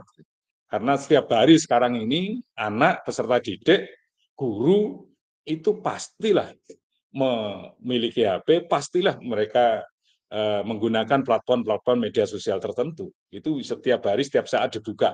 Rasanya kalau satu menit, dua menit tidak membuka uh, media sosial itu ada yang ada yang kurang, misalnya uh, mati gaya dan seterusnya. Nah, ini local wisdom versus globalisasi. Waduh, sekarang Bapak Ibu tantangannya semakin berat. Bagaimana Bapak Ibu membendung arus globalisasi yang membawa serta kebudayaan asing, ya, kebudayaan Barat, kebudayaan Asia Timur, yang namanya anak sekarang ini gandrung dengan drakor, gitu. bahkan mungkin ada di antara bapak ibu yang gandrung juga drakor setiap hari melihat video drama Korea itu, setiap hari melihat tayangan-tayangan K-pop, ini setiap hari membanjiri disebarluaskan melalui internet. Bahkan sekarang ini Bapak Ibu harus menghadapi tantangan yang cukup berat ketika memberikan tugas kepada peserta didiknya. Bapak Ibu akan berhadapan dengan tantangan apa yang dinamakan dengan chat GPT. Bapak Ibu sekarang memberikan tugas seberat apa pun itu akan bisa dikerjakan oleh peserta didik melalui chat GPT dalam waktu yang sangat cepat. Bagaimana sekarang Bapak Ibu mengantisipasi itu? Di UNESA belum ada keresahan, belum ada pembahasan tentang itu. Tetapi saya pernah mengikuti satu forum seminar, webinar di UI yang membahas secara khusus tantangan perguruan tinggi menghadapi ChatGPT. Sudah dibahas oleh Dewan Guru Besar. Ini tantangan kita yang paling berat. Saya tidak perlu menjelaskan apa itu globalisasi. Tapi yang terjadi, globalisasi itu tentu terjadi apa yang disebut dengan difusi. Penyebar luasan kebudayaan. Kebudayaan asing tentu. Terjadi akulturasi. Terjadi asimilasi dan terjadi globalisasi. Saya masih ingat ketika McDonald itu masuk pertama kali di Surabaya itu tahun awal-awal tahun 90-an itu banyak orang terkecoh. Jadi orang yang pertama terkecoh itu bagaimana cara memesannya karena ini kan kan ini adalah self service ya, fast food ya. Jadi orang pesan kemudian bayar baru dapat makanan dibawa sendiri ke meja. Nah, banyak orang yang kemudian pesan nasi putih, enggak ada nasi putih. Amerika kentang ya, tidak ada nasi putih. Tetapi ini ditangkap oleh pemilik modal. Ternyata tuntutan atau demand untuk nasi putih itu cukup kuat. Akhirnya ada nasi putih. Paket nasi putih. Orang Indonesia suka pedas, akhirnya ada rasa pedas. Ini yang disebut sebagai globalisasi produk global menyesuaikan dengan selera lokal. Nah, itu globalisasi. terjadi sekarang globalisasi. Nah, bagaimana pertarungan antara kebudayaan lokal dengan kebudayaan global? Pertarungan antara local wisdom dengan kebudayaan asing. Tentu yang menjadi pemenang itu adalah pihak yang mengontrol teknologi komunikasi dan informasi. Sekarang siapa? Negara yang mengontrol teknologi informasi dan komunikasi. Negara-negara maju. Negara-negara majulah yang lebih banyak mentransformasikan kebudayaannya kepada negara-negara konsumen, kepada negara-negara yang belum maju seperti Indonesia. Mereka yang lebih banyak membanjiri informasi, kebudayaan, kebudayaannya ke Indonesia. Nah, sekarang pertanyaannya bagaimana sikap masyarakat kita untuk merespon membanjirnya kebudayaan asing? Kalau masyarakat kita mengembangkan sikap etnosentrisme ini selaka. Sementara sebagian masyarakat kita memang lebih menghargai kebudayaan asing daripada menghargai kebudayaannya sendiri lebih membanggakan sesuatu yang produk asing daripada membanggakan produk sendiri. Itu yang disebut sebagai xenocentrisme. Nah, sebenarnya untuk mengantisipasi serbuan globalisasi tadi itu, kita harus mengembangkan sikap etnosentrisme. Bangga terhadap kebudayaannya sendiri. Bangga terhadap makanan lokal. Bangga terhadap baju lokal bangga terhadap produk-produk lokal. Ini yang harus dikembangkan oleh masyarakat kita. Saya khawatir nah, yang seperti ini nanti akan tergerus. Yang seperti ini nanti akan eh, temantennya itu akan memakai jas, akan memakai baju yang kemudian eh, panjangnya itu sampai 10 meter. Ini akan akan akan akan apa? Ya, tradisi grebek suro misalnya itu nanti akan akan tergerus ya.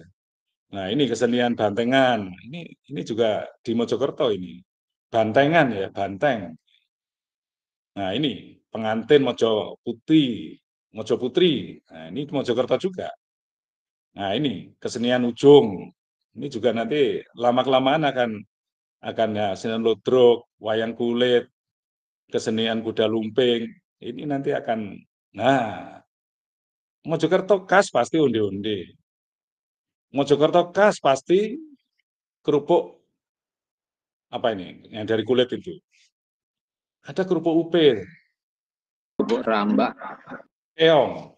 Ada wader. Nah, ini Mojokerto khas. Ini destinasi wisata di Mojokerto. Jangan sampai masyarakat kita lebih memilih destinasi, destinasi, apa, destinasi wisata mall daripada destinasi wisata seperti di Mojokerto, candi-candi peninggalan Majapahit ini. Ya, saya kira itu yang bisa saya sampaikan. Terima kasih. Terima kasih Pak Sugeng atas paparannya. Kita akan diskusi. Ini satu penanya saja karena Pak Agus sudah siap untuk memberikan materi. Yang angkat tangan sejak tadi ini ada Pak Hoirul Jazil. Silahkan Pak Hoirul Jazil untuk memberikan pertanyaan kepada narasumber yang pertama.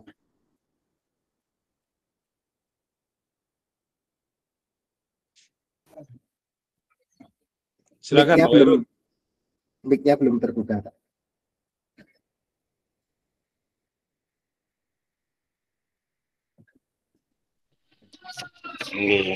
Baik, Assalamualaikum warahmatullahi wabarakatuh. Waalaikumsalam warahmatullahi wabarakatuh. Waalaikumsalam warahmatullahi wabarakatuh.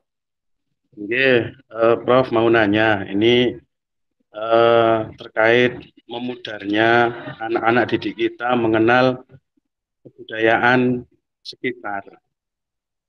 Ini eh, mohon masukannya Prof. Kira-kira bagaimana nanti di dalam pembelajaran anak-anak itu bisa tumbuh cinta dan mengenal pada budaya-budaya yang ada di aslinya begitu. Terima kasih. Ya, ini eh, sedang ada studi S2 ya Pak, studi tesis ya, yang saya juga membimbing. Jadi memang eh, bagaimana mengintegrasikan uh, local wisdom ini dalam pembelajaran, terutama dikaitkan dengan uh, apa program P5 itu ya, program P5 itu. Ini bisa di bisa dilakukan. Bisa dilakukan. Jadi bisa misalnya kalau kalau pada masa yang lalu eh, konten-konten pembelajaran itu di, di dimasukkan nilai-nilai uh, local wisdom itu bisa. Bisa juga uh, ke dalam media pembelajarannya. Bisa juga ke dalam metode pembelajarannya. Kalau IPS ya sangat memungkinkan sangat membuka ruang peluang untuk memperkenalkan, menginternalisasikan, mengintegrasikan nilai-nilai lokal wisdom itu kepada peserta didik melalui apakah itu bahan ajar, melalui media pembelajaran, melalui apa metode pembelajaran itu itu sangat bisa. Memang tantangannya cukup berat, Bapak. Tantangannya cukup berat. Karena kita menghadapi generasi generasi apa? generasi eh, Z ya yang zamannya sudah berbeda. Eranya sudah berbeda mereka eranya adalah era digital, eranya era uh, globalisasi. Setiap hari mereka diinternalisasi oleh oleh nilai-nilai, oleh kebudayaan asing, oleh produk-produk asing, yang itu lebih menarik. Apalagi kemudian ada stigma kan Pak di masyarakat. Kalau kita ini mencintai, saya punya pernah punya pengalaman ini pada keluarga saya sendiri saya pada satu mobil dengan anak-anak saya dan saya memutar lagu campur sari itu. Tiba-tiba anak saya mengatakan, Pak perut saya sakit. Loh, kenapa sakit? Saya khawatir kan kalau makan makanan yang enggak enggak anu apa yang kotor, yang tidak higien dan seterusnya. Jawabnya dia mengejutkan saya. Perut saya sakit karena mendengarkan lagu-lagu yang di, yang Bapak putar ini.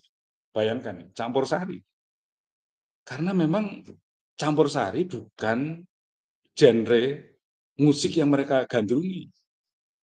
Saya mencoba memperkenalkan, tetapi saya justru menghadapkan, dihadapkan pada tantangan seperti itu. Jawaban anak yang saya seperti itu. Ini juga yang Bapak Ibu hadapi di sekolah. Putra-putri peserta didik Bapak Ibu itu itu punya genre, punya selera musik sendiri, punya selera makanan sendiri. Ukuran modernitas peserta didik Bapak Ibu dengan ukuran modernitas Bapak Ibu itu berbeda. Ini yang kita hadapi. Silakan. Bagaimana mencoba untuk mengintegrasikan, bagaimana mencoba untuk menginternalisasikan lokal wisdom itu pada peserta didik. Tentu tidak bisa instan Bapak Ibu. Ini butuh proses. Saya kira itu Bapak. Pak Khairul. Terima kasih. Jadi, terima kasih Pak Sugeng atas paparan materinya dan diskusinya. Bapak Ibu, eh, dengan Pak Sugeng kita telah selesai. Matur nuwun Pak Sugeng eh, atas yeah. paparannya. Eh, uh, kami akan lanjutkan. Saya mohon maaf, yeah. Mas Katon, saya mohon maaf pada Bapak Ibu yang mungkin paparan saya masih banyak kekurangan atau belum bisa memenuhi harapan Bapak Ibu, tapi inilah yang bisa saya sampaikan pada kesempatan ini. Mudah-mudahan kita bisa berjumpa lagi pada kesempatan yang akan datang. Terima kasih. Assalamualaikum warahmatullahi wabarakatuh. Waalaikumsalam warahmatullahi wabarakatuh. Waalaikumsalam warahmatullahi wabarakatuh. Baik, Bapak Ibu, selanjutnya uh, untuk narasumber yang kedua akan disampaikan oleh Bapak Dr. Agus Supriyono MSI uh, beliau akan menyampaikan materi mengenai model pembelajaran IPS berbasis kearifan lokal kepada kepada Bapak Agus Supriyono MSI kami persilahkan. Assalamualaikum warahmatullahi wabarakatuh. Waalaikumsalam. Waalaikumsalam. Waalaikumsalam. MGMP IPS Kabupaten Mojokerto yang saya hormati. pada sesi kedua ini kita akan banyak berdiskusi terkait bagaimana mengimplementasikan pembelajaran berbasis kearifan lokal dengan model-model pembelajaran yang tentu harus sesuai dengan aspek pengetahuan dari kearifan lokal, jenis pengetahuan dari kearifan lokal. Lembaga pendidikan ini kan dikembangkan untuk membawa perubahan kehidupan masyarakat menjadi lebih baik, menjadi lebih berkualitas. Nah, dalam perspektif kurikulum, bagaimana lembaga pendidikan itu bisa berfungsi dan kaitannya dengan membawa perubahan pada kehidupan masyarakat yang lebih baik. Dalam perspektif kurikulum, ada dua landasan filosofis yang digunakan. Satu yaitu perennialisme filosofi dan rekonstruksionisme filosofi. Dua filsafat pendidikan ini yang membawa kepada konstruksi kurikulum untuk membawa perubahan pada masyarakat. Tapi berdasarkan kedua filsafat itu caranya berbeda. Perennialisme membawa perubahan kebudayaan yang berkualitas itu berorientasi kepada tatanan sosial budaya, sistem budaya, masyarakat yang sudah teruji dalam perkembangan pengalaman kolektif kehidupan masyarakat itu. Makanya kata perennialisme, perennial itu keabadian. Satu sistem sosial budaya, termasuk di dalam nilai-nilainya, itu sudah mengalami uji ketangguhan di mana masyarakat memegang teguh itu, meyakinan itu, ya, sehingga masyarakat mampu bertahan. Maka perennialisme melahirkan satu pemikiran-pemikiran lahirnya kurikulum berbasis kearifan lokal dan sebagainya. Yang kedua, dalam perspektif filosofis rekonstruksionisme, itu membawa perubahan masyarakat kepada kebudayaan yang berkualitas dengan mengikuti perkembangan zamannya dengan menggunakan tatanan-tatanan modernitasnya itu. Makanya dalam perspektif ini apakah keduanya itu bertentangan? dalam aspek tujuan tidak bertentangan karena ingin sama-sama membawa kepada perubahan, kepada kebudayaan dan kehidupan yang lebih berkualitas. Yang satu lebih berorientasi kepada tatanan sosial budaya yang telah menjadi pengalaman kolektif sebuah masyarakat dan itu sudah teruji dari zaman ke zaman. Ya.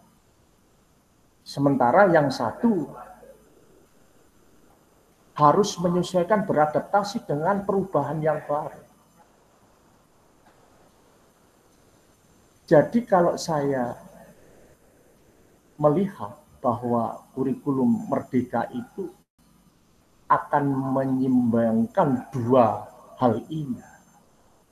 Bahkan saya katakan kurikulum berbasis kearifan lokal yang diusung oleh kurikulum merdeka ini menjadi sebuah semacam katup penyelamat di tengah gempuran arus modernisasi dan globalisasi.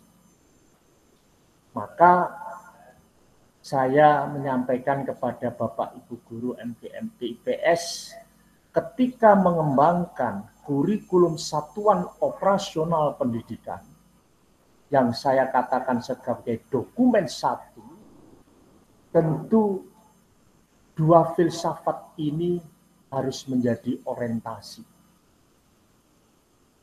Ada kesalahpahaman bahwa ketika perennialisme filosofis itu dikembangkan, seolah-olah kita kembali ke masa lampau. Salah itu. Justru dengan kurikulum berbasis kearifan lokal, local wisdom, ya, local wisdom itu istilah dari Quaitridge Wales, ya, yang berfungsi sebagai kartu penyelamat di tengah gempuran modernisasi. Sementara kita juga tidak bisa meninggalkan tuntutan untuk beradaptasi dalam segala perubahan globalisasi ataupun modernisasi ini. Jadi kita harus juga beradaptasi, menambah pendidikan berfungsi untuk adaptif. Mengapa? Karena sekolah itu sebagai sebuah miniatur masyarakat. Maka keberlangsungan dan keberlanjutannya ya harus adaptasi, akomodasi terhadap sebuah perubahan yang ada. Jadi itu poin pertama mengapa uh, kurikulum berbasis kearifan lokal ya yang ada di dalam kurikulum merdeka itu dikembangkan. Fungsinya adalah sebagai katup penyelamat dari perubahan-perubahan yang begitu cepat ya, di era ini. Jadi singkat kata, singkat cerita, Bapak Ibu tentu dalam pengembangannya bisa menjadikan kearifan lokal menjadi sumber belajar IPS. Ya. Nah, itu satu.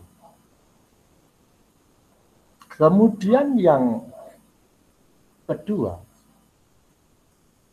ketika ini dikonstruksikan menjadi bagian dari kurikulum dalam konteks kurikulum merdeka, maka integrasinya itu sebagai makna yang diamanahkan dalam surat keputusan Menteri Pendidikan Kebudayaan nomor 256 garis miring M garis miring 2022 sebagai pengganti perubahan atas keputusan Menteri Pendidikan Kebudayaan nomor 056 kan.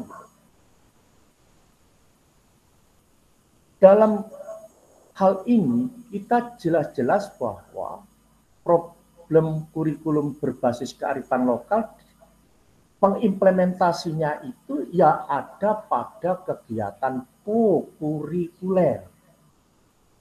Ya. Saya mau memberikan satu kritik, mohon maaf ketika Bapak Ibu membuat modul ajar, itu ada komponen yang saya baca di panduannya ada profil pelajar Pancasila. Leres nopo mboten? Ya kan? Menurut saya itu tidak tepat. Ditempatkan di dalam modul ajar mapel panjenengan itu. Sebab apa? Di surat keputusan Menteri Pendidikan Kebudayaan nomor 256 itu sudah ada klausul bahwa profil proyek uh, profil penguatan uh, pelajar Pancasila itu tidak harus diintegrasikan dalam kegiatan intrakurikuler. Bisa dilakukan secara terpisah. Tapi saya melihat Mengapa di dalam modul ajar itu ada komponen profil pelajar Pancasila? Ya. Di dalam modul ajar mapel itu loh. Kalau saya itu hapus itu. Mengapa saya katakan begitu? Karena ingat bahwa terkait kokurikuler itu sudah ada CP-nya sendiri. Leres Ada CP-nya sendiri. CPL-nya sendiri. Di surat keputusan Kepala Badan Standar Kurikulum Asesmen Pendidikan 009 dan CPL-nya itu mengarah kepada pendidikan afeksi, karakterisasi. Itu yang saya maksud. Jadi pengembangan pembelajaran tentang kearifan lokal ya ditempatkan di dalam konteks ini. Tidak usah nanti dirancang, dituliskan di profil Pancasila yang aspek intrakurikuler itu. Itu ada tuh di berdaya nah apa berpikir dan sebagainya berpikir kritis dan sebagainya itu. jadi dua yang terpisah dan apakah implementasi kearifan lokal itu proyek penguatan profil pelajar Pancasila itu kabur ya pelaksanaannya menggunakan project based learning. Ya. Kan tidak harus project based learning. Karena tujuannya adalah melakukan internalisasi. Dan tidak harus project kemudian orientasinya produk. Itu ya kesalahan fatal dari P5 itu. Salah satunya adalah selalu berorientasi pada produk dengan pendekatan PJBL. Lupa bahwa CPL-nya itu adalah proses internalisasi satu sistem nilai. Ya.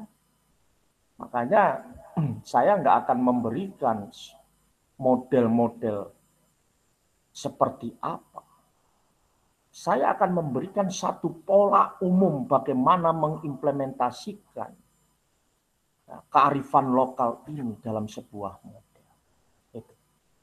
Jadi saya tegaskan sekali lagi dari apa yang saya bicarakan poin pertama bahwa dengan adanya wacana kearifan lokal di dalam kurikulum berarti semakin menguatnya filsafat pendidikan perilinialisme yang menjadi panduan kita bahwa itu dibelajarkan sebagai bagian dari kegiatan kokurikuler.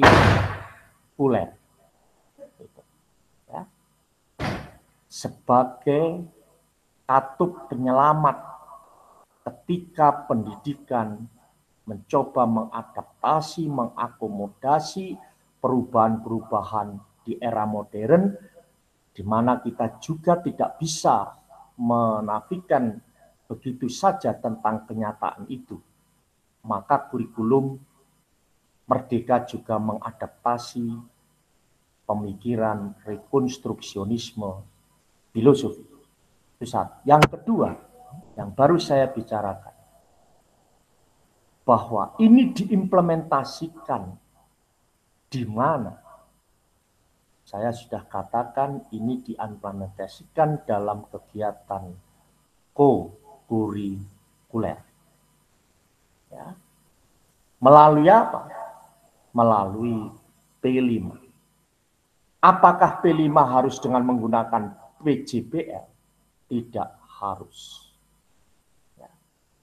apakah harus diintegrasikan masalah kearifan lokal ini ke dalam intrakurikuler? Sebagaimana tuntutan modul ajar ada profil Pancasila. Ya. Tidak harus. Karena masing-masing intrakurikuler dan kokurikuler memiliki CPL yang berbeda. Yang satu intrakurikulernya membangun satu kompetensi yang memenuhi baik itu secara standar akademik maupun standar performa. Sementara CPL yang kemudian dengan P5 orientasinya adalah proses internalisasi yang melalui beberapa tahapan sesungguhnya. Saya itu sedang mengkoreksi sampai sejauh mana pelaksanaan P5 terhadap uh, ketercapaian JPL-nya. Ini yang belum banyak dipikirkan. Ya. Sayang kita melupakan aspek afeksi dari pemikiran Benjamin Bloom. Ya kan? Aspek domain dari afeksi yang dikembangkan Bloom. Reserving, responding, evaluating, organizing, dan internalizing. Sekarang saya tanya, P5 itu sampai tahap keberhasilan dalam tahapan domainnya si Benyamin belum itu sampai pada tahap apa? Apakah dengan adanya selebrasi itu sudah betul-betul itu menunjukkan internalisasi? Kalau saya tidak, itu panggung sandiwara. Sejauh mana keberhasilan proyek P5? dengan mengangkat uh, tema-tema tentang kearifan lokal. Apa sih yang mau diinternalisasikan itu? Kan satu sistem nilai, sistem budaya, standar perilaku. Kan itu.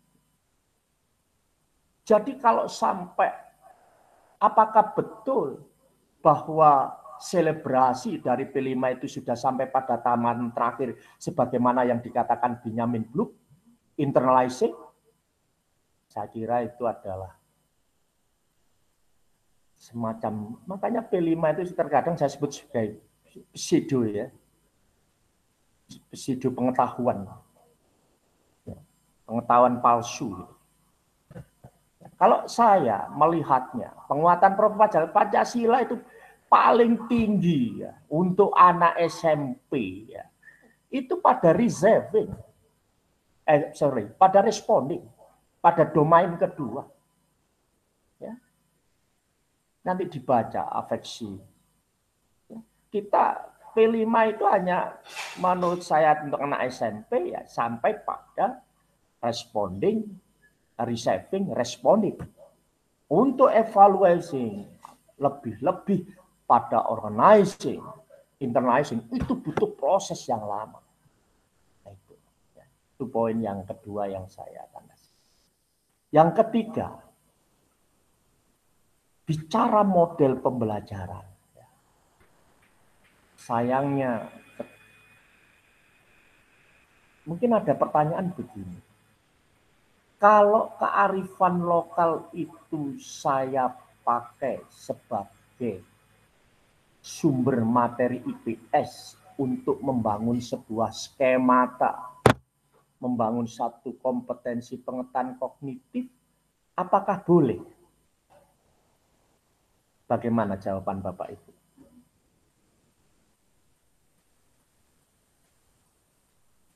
Kalau kearifan lokal itu mau diintegrasikan kepada kegiatan intrakurikuler sekuler.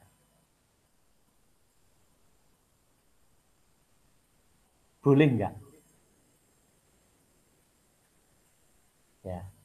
Gimana Bapak Ibu? Menurut saya boleh, Prof. Monggo, Pak Khairul.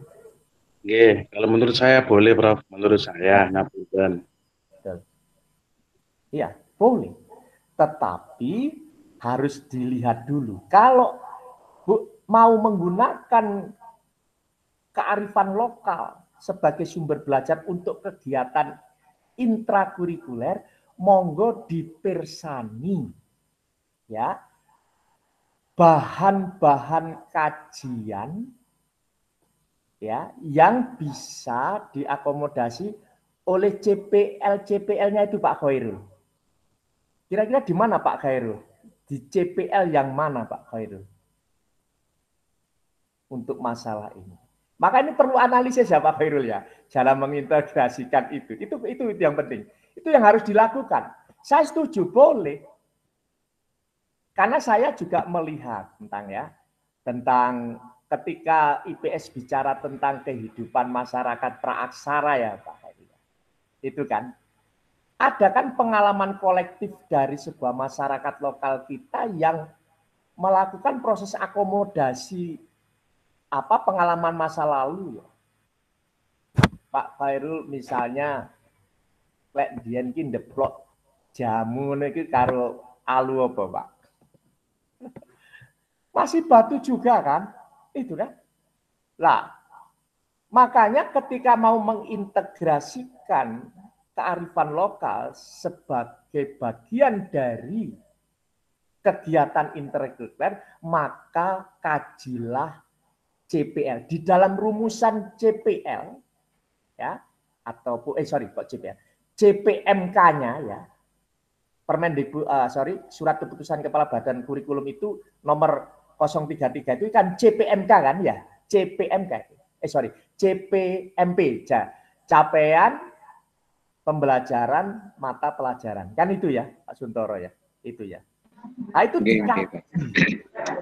Dikaji karena dalam susunan CP CP mata pelajaran itu kan ada domain-domain kognitifnya. Kemudian kan ada domain kontennya, kan begitu. Nah, di situlah panjenengan bisa melakukan integrasi terhadap konten yang ada di dalam rumusan CPMP-nya itu capaian mata pelajaran. Itu bisa diintegrasikan di sana.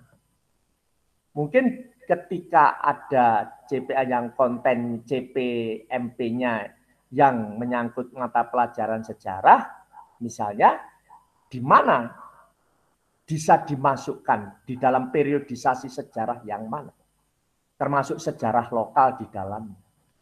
Kalau kemudian di konten yang ada pada rumusan CPMP mata pelajaran itu ada geografi, di mana? Itu dimasukkan. Itu cara mengintegrasikan ketika panjenengan mau mengembangkan materi ya dengan memanfaatkan kearifan lokal sebagai sumber belajar I. Ini kalau di dalam pendekatan pedagogis namanya pendekatan logosentris namanya. Jadi pembelajaran berbasis logosentris itu namanya. Ya. Nah, caranya tadi mengintegrasikan dengan konten-konten yang ada. Nah, sekarang yang terakhir, yang ketiga. Saya coba share dulu. Ini aja kata kuncinya ya.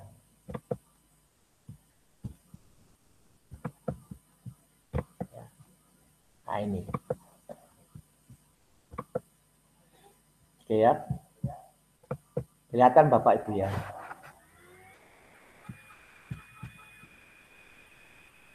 Kalau kita mau mengintegrasikan ya, baik ke dalam intrakurikuler maupun ke co-kurikuler tentang how to learn-nya. Bagaimana membelajarkannya. Maka salah satu model yang bisa dikembangkan. Ini sebenarnya adalah dasar model.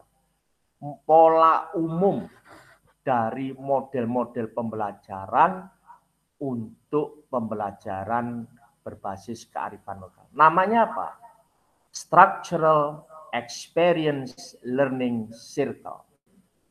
Ini kata kunci. Jadi structural experience learning circle. Tahapannya seperti apa? Di situ saya tuliskan ada rangkai ulang, rekonstruksi. Mengurai kembali tentang fakta apa yang ada di dalam sistem sosial budaya masyarakat yang menjadi sumber belajar itu realitas dari kehidupan sosial masyarakat itu diurek. Nah, ini mengisyaratkan kepada kita tahapan pertama di dalam sebuah rekonstruksi ini. Maka pembelajaran yang bersifat kontekstual tidak bisa kita tinggalkan. Artinya pembelajaran tentang kearifan lokal harus selalu menggunakan pendekatan kontekstual.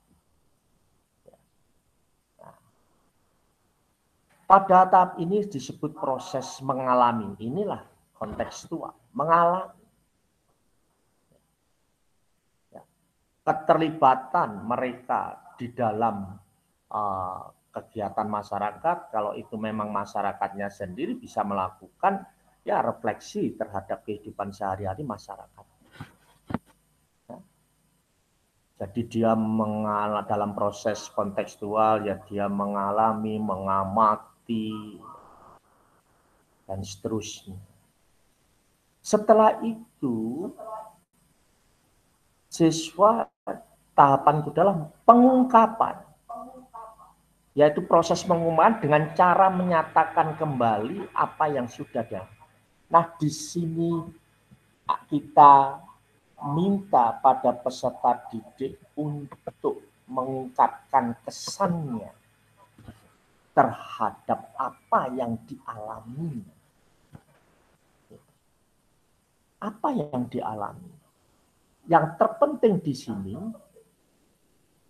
coba dilatih peserta didik. Karena ini tidak tekstual, saya yakin dalam menyampaikan ungkapan siswa akan mengungkapkan dengan bahasanya sendiri. Jangan menurut tahapan konstruktivisme tidak usah dibawa kepada bahasa-bahasa formal. Tetapi bahasa-bahasa yang ada di dalam keseharian, dalam teori konstruktivistik bahasa menjadi sangat penting. Jangan kemudian Bapak Ibu ketika siswa mengungkapkan dicampur-campur dengan bahasa yang dia mudah untuk mengungkapkan apa yang dia itu biarkan saja. Karena ini sebagai bagian dari proses merefleksi dari apa yang dialami tadi dalam proses rekonstruksi. Ini bahaya nanti kalau kita mengarahkan ya yang kamu maksud itu apa? Oh, bukan begitu, Lela. Itu sudah sebuah kata-kata yang akan menghambat cara berpikir anak. Ingat loh, bahasa itu merupakan alat un, alat berpikir. Makanya jangan sekali-kali kita menghambat bagaimana anak mengungkapkan apa yang dipahami dengan bahasanya karena tidak ada kesesuaian dengan teks yang kita pernah baca, Jangan. Kita justru terus memberikan motivasi terhadap itu. Ya. Pengungkapan. Ya. Kemudian tahapan ketiga, ya, pada tahapan ketiga, macet ya. Pada tahapan ketiga, pada tahapan ketiga, setelah mereka merekonstruksi, setelah mereka mengulang, maka dia melakukan apa yang disebut dengan kaji urek. Ya. Kaji urek. Analisis, menganalisis. Nah, di sini. Apa yang ditemukan anak kemudian diminta untuk menjawab satu pertanyaan dengan kata tanya mengapa, mengapa, mengapa.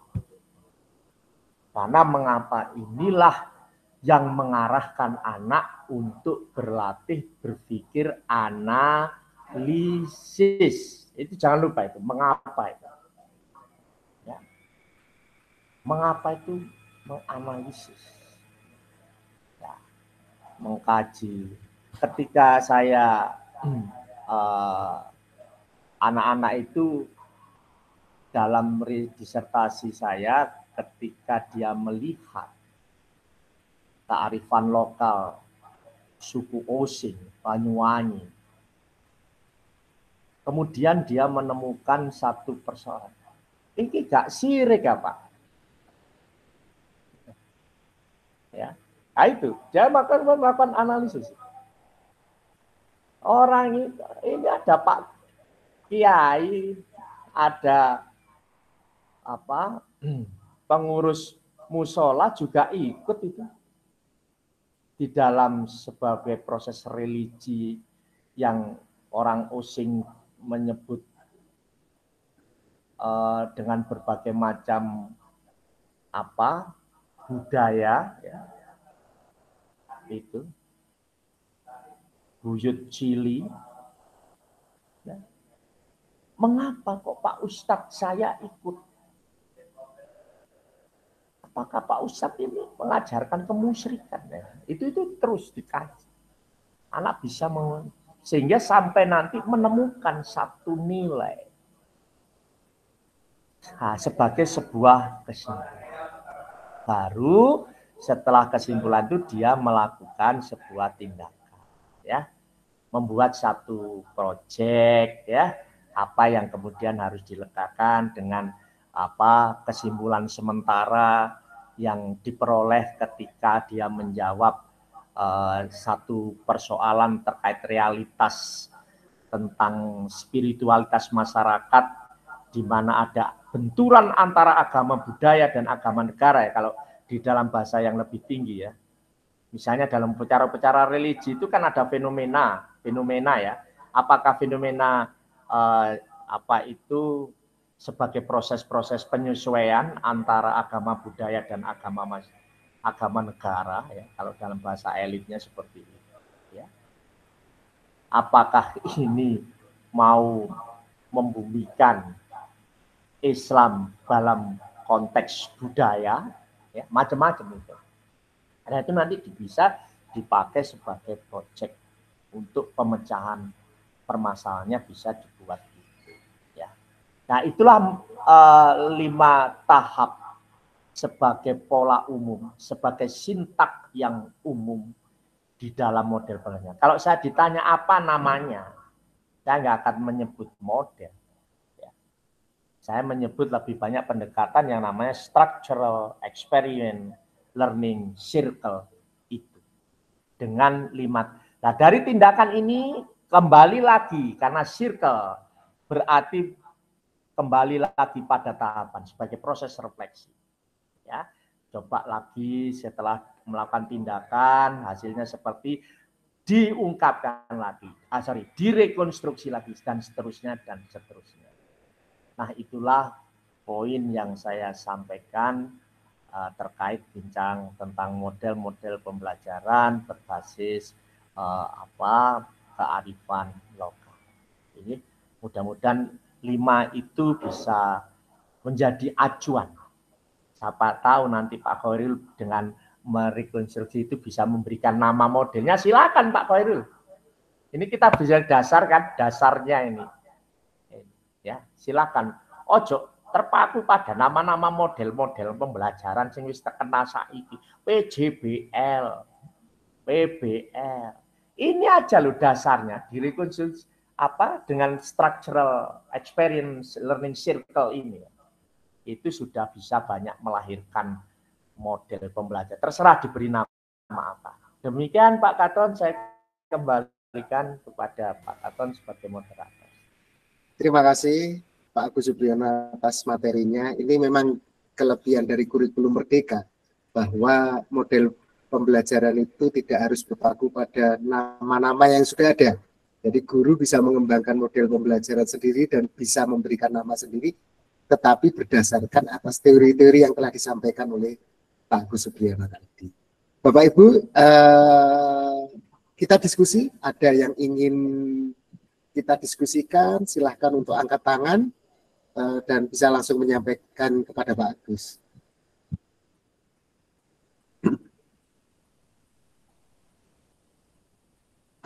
sudah tidak ada Bapak Ibu? Kelihatannya sudah tidak ada Pak Agus. Oh Pak Koirul, silakan Pak Koirul ini Pak Koirul lagi. Ya. J, silakan Pak Koirul. Mic-nya belum nyala. Mic-nya masih belum dibuka. Iya. Mic, mic. Belum dibuka, Pak. Belum terdengar Pak Khairul, mic-nya belum nyala. Iya. Oke, ngapunten. Jadi eh, kondisi di anak didik kami, Pak eh, Prof, ini eh, anak-anak itu sangat lemah kalau diajak membaca atau eh, literasi tentang sumber-sumber begitu. Tetapi kalau kita ajak untuk uh, pembelajaran yang uh, istilahnya menghadirkan pengalaman nyata itu mereka sangat antusias. Nah, terkadang itu uh, Prof, kita itu terjebak kalau pembelajarannya terlalu uh, istilahnya menghadirkan pengalaman nyata, nanti ketika asesmen ini anak-anak nilainya rendah, Prof. Ini mohon uh, masukannya, Prof. Terima kasih. Ya. ya, sekarang yang saya tanyakan adalah asesmennya itu dikembangkan melalui realitas tekstual atau realitas kontekstual, Pak Khoirul. Nah, bisa jadi nilai rendahnya itu terjadi karena pengembangan instrumen asesmennya menggunakan pendekatan-pendekatan realitas tekstual. Kan itu. Tidak banyak menyentuh realitas kontekstual. Sebenarnya dengan rekonstruksionisme itu, siswa itu kan diberdayakan untuk melakukan sebuah rekonstruksi pengetahuan melalui partisipasi siswa itu sendiri. Nah, dengan demikian, siswa bisa mengkoreksi antara realitas kontekstual yang dialami dengan realitas tekstual. Nah, sering kali instrumen-instrumen penilaian itu mengabaikan rekonstruksi-rekonstruksi yang dihasilkan oleh siswa sebagai upaya untuk melakukan proses kritik terhadap realitas tekstual. Sudah seperti saya contohkan guru sejarah. Ya, saya tanyakan siapa Bapak Pendidikan Nasional Indonesia? Ki Hajar Dewantoro atau Suwardi Suryaningrat.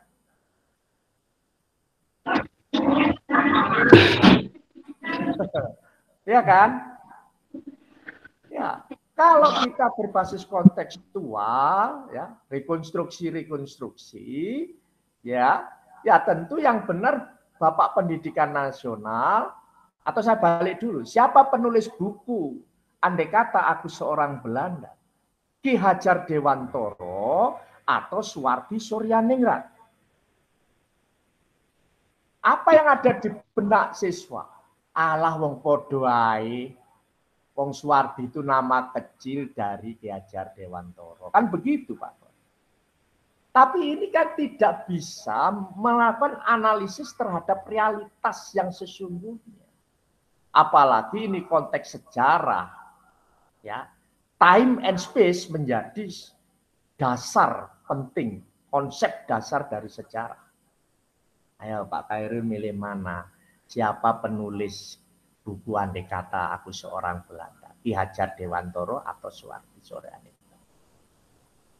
Nah kalau kemudian evaluasinya, kuncinya itu podoai. Kan ya membingungkan siswa. Padahal secara kontekstual, kalau terkait dengan apakah sudah betul tahun 1913 itu sudah ada nama Ki Hajar Dewantoro? Sudah ada atau belum? Belum kan? Itu ditulis dalam pergolakan panggung politik sosok Suwardi Suryangrenrat, ya kan? Yang tergabung di dalam tiga serangkai indis partis. Kan itu konteks. Sementara Ki Hajar Dewantoro ketika dia melawan Onderwijs Ordonansi Wildeskulen, ya, undang-undang sekolah liar ketika ditujukan kepada sekolah taman siswa. dan apakah Suwardi Suryaningrat melekat di dalam secara kontekstual di atas panggung pendidikan? Kan tidak Pak Khairul. Yang melekat adalah nama Ki Hajar Dewan Toro. Nah, jadi kalau soalnya siapa Bapak Pendidikan Nasional? Ya Ki Hajar. Siapa penulis buku? Jangan dong, oh ini salah soal ya, kan salah. Kan ini sama saja. Nah ini kan akhirnya ya makanya tadi ragunya oh kalau nanti anak-anak nilainya rendah Pak dalam itu. Nah makanya kalau mengembangkan soal rekonstruksi-rekonstruksi yang hadir ya ketika anak melakukan satu verifikasi ya tekstual-tekstual itu ke dalam eh, realitas sosial masyarakat ya itu hasilnya seperti apa itu harus diperhatikan di dalam pengembangan asesmennya. Saya tanya lagi nih sejarah ya masyarakat tidak dikenakan pajak. Itu ketentuan kultur stelsel atau tanam paksa. Nah, Pak? Kultur stelsel. Iya, itu konteksnya. Kultur stelsel. stelsel. Ya, tekstualnya kan begitu, Pak. Ya. Tetapi di dalam kontekstualnya dikenakan pajak atau tidak? Nah, makanya hati-hati kalau membuat soal. Mana pilihan ABCD, mana yang menunjukkan tekstual dari sebuah kultur stelsel, mana yang menunjukkan kontekstual di dalam tanam paksa. Sekarang yang dibangun pengetahuannya gini, oh kultur stelsel atau tanam paksa. Kan itu, atau tanam paksa. Ini salah satu yang perlu dipelajari. Itu saya yakin Pak Khairul, anak-anak dibiasakan untuk membangun sebuah pengetahuan dan mampu untuk melakukan kritik. Nah, contoh lagi sosiologi. Interaksi sosial adalah hubungan timbal balik antara individu dengan individu. Nah, sekarang saya buat secara kontekstual. Mana pernyataan yang benar yang menunjukkan interaksi sosial. Hubungan antara Rini dan Tono, hubungan dokter dan pasien. Nah. sama, Prof. Sama-sama interaksi. Iya. Ketika kita mengembangkan tekstual, Rini ya individu, Tono individu. Dokter juga seorang dokter. Pasien yang dihadapi dokter kan masuknya satu-satu. Ini juga individu dengan individu. Ini jane soalnya bener apa salah kan gitu. Nah itu. Makalah dibangun satu sistem yang benar. Maka yang benar interaksi sosial itu bukan bukan Rini dan Tono, tetapi bagi dokter dan pasien. Karena interaksi sosial itu adalah dalam kenyataannya itu hidup secara sosial itu hubungan fungsi, hubungan peran sosial antar itu yang penting Pak Khairul. Makanya tadi bisa susah menjawab karena jangan-jangan asesmennya tidak berbasis kontekstual itu. Hanya berbasis tekstual apalagi diberi kalimat yang daki-daki kemoncongan jadi hot ya re. Jadi hot hot are kepanasan. Itu ya Pak Khairul jawaban saya mau di apa direnungkan yang saya sampaikan seperti itu. Ya begitu Pak Katon. Halo? Halo Pak Katon. Jih, bagus. Sudah selesai, saya kembali. Baik, baik. Sama Bapak Ibu, ini tadi saya belum menyampaikan kurikulum vitae singkat dari Pak Agus Supriyono. Akan saya bacakan sebentar kurikulum singkat uh, pembicara kedua, narasumber yang kedua. Nama Dr. Agus Supriyono MSI saat ini menjabat sebagai koordinator program studi S2 Pendidikan IPS Universitas Negeri Surabaya. Pernah menjabat sebagai Ketua Jurusan Pendidikan Sejarah FISHA UNESA eh, kemudian pernah juga menjabat sebagai Wakil Dekan Bidang Akademik FISHA UNESA Universitas Negeri Surabaya. Saat ini juga ditugaskan oleh Universitas Negeri Surabaya untuk menjadi tim pendiri program studi S3 Pendidikan IPS. Sedangkan pendidikan S1 diselesaikan di program studi pendidikan sejarah Universitas Negeri Surabaya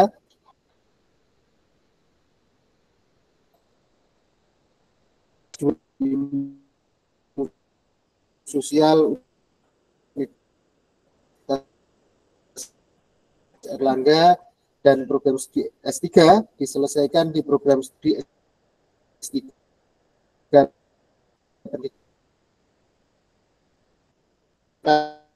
kasih atas materi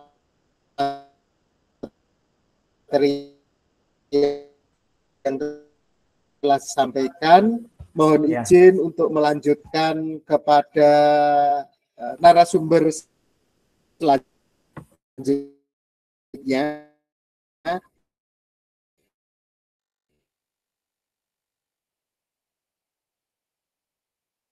Putus-putus suaranya, Pak. Uh, apa suaranya putus-putus, Pak?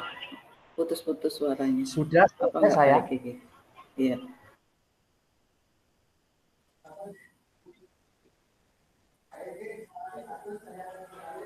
Sambut ya. Baik ya, narasumber juga akan menyampaikan dalam perspektif geografi. Tes, tes. Tes. Saya matikan dulu ya, anu, apa, uh, kamera saya.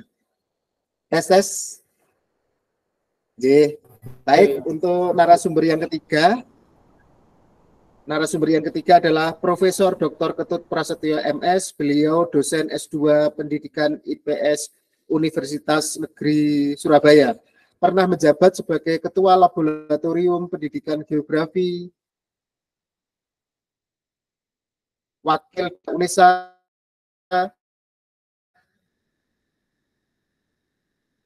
kemudian pernah menjabat sebagai Dekan Fakultas Ilmu Sosial dan Hukum UNESA sampai dengan yang terakhir adalah kan S1 di Selajah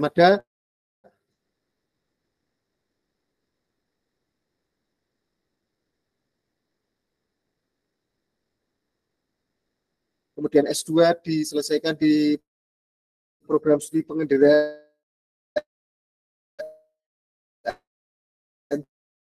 jauh Universitas Gajah Mada dan S3 Pendidikan Lingkungan Universitas Negeri Jakarta. Ya, Profesor Dr. Ketut Prasetyo MS kami persilakan untuk memberikan materi.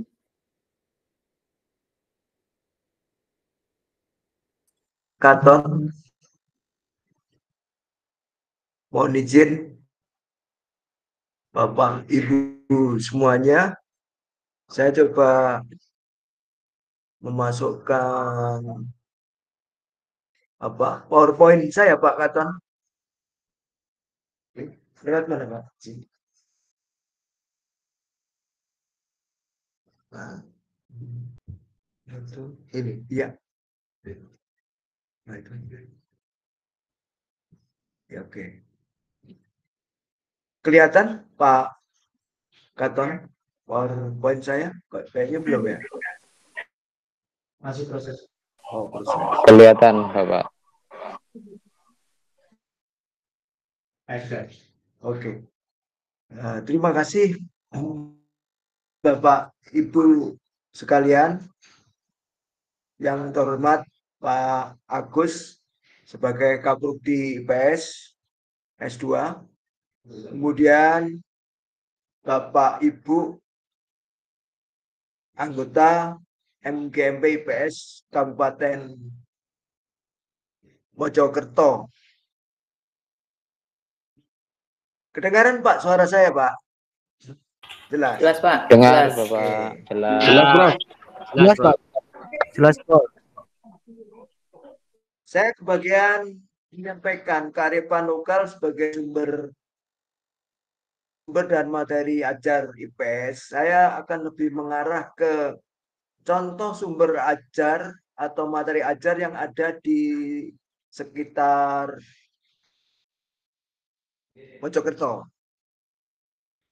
Ini tadi profil saya sudah disampaikan Pak Gaton. Saya asal saya dari Kertosono Pak. Kertosono jadi pinggir kali Berantas. Jadi di pinggir sungai Berantas itu saya dari S dia lahir sampai SMA di sana kemudian eh, melanjutkan studi di Jogja, kemudian S1, S2, S3-nya saya di Jakarta.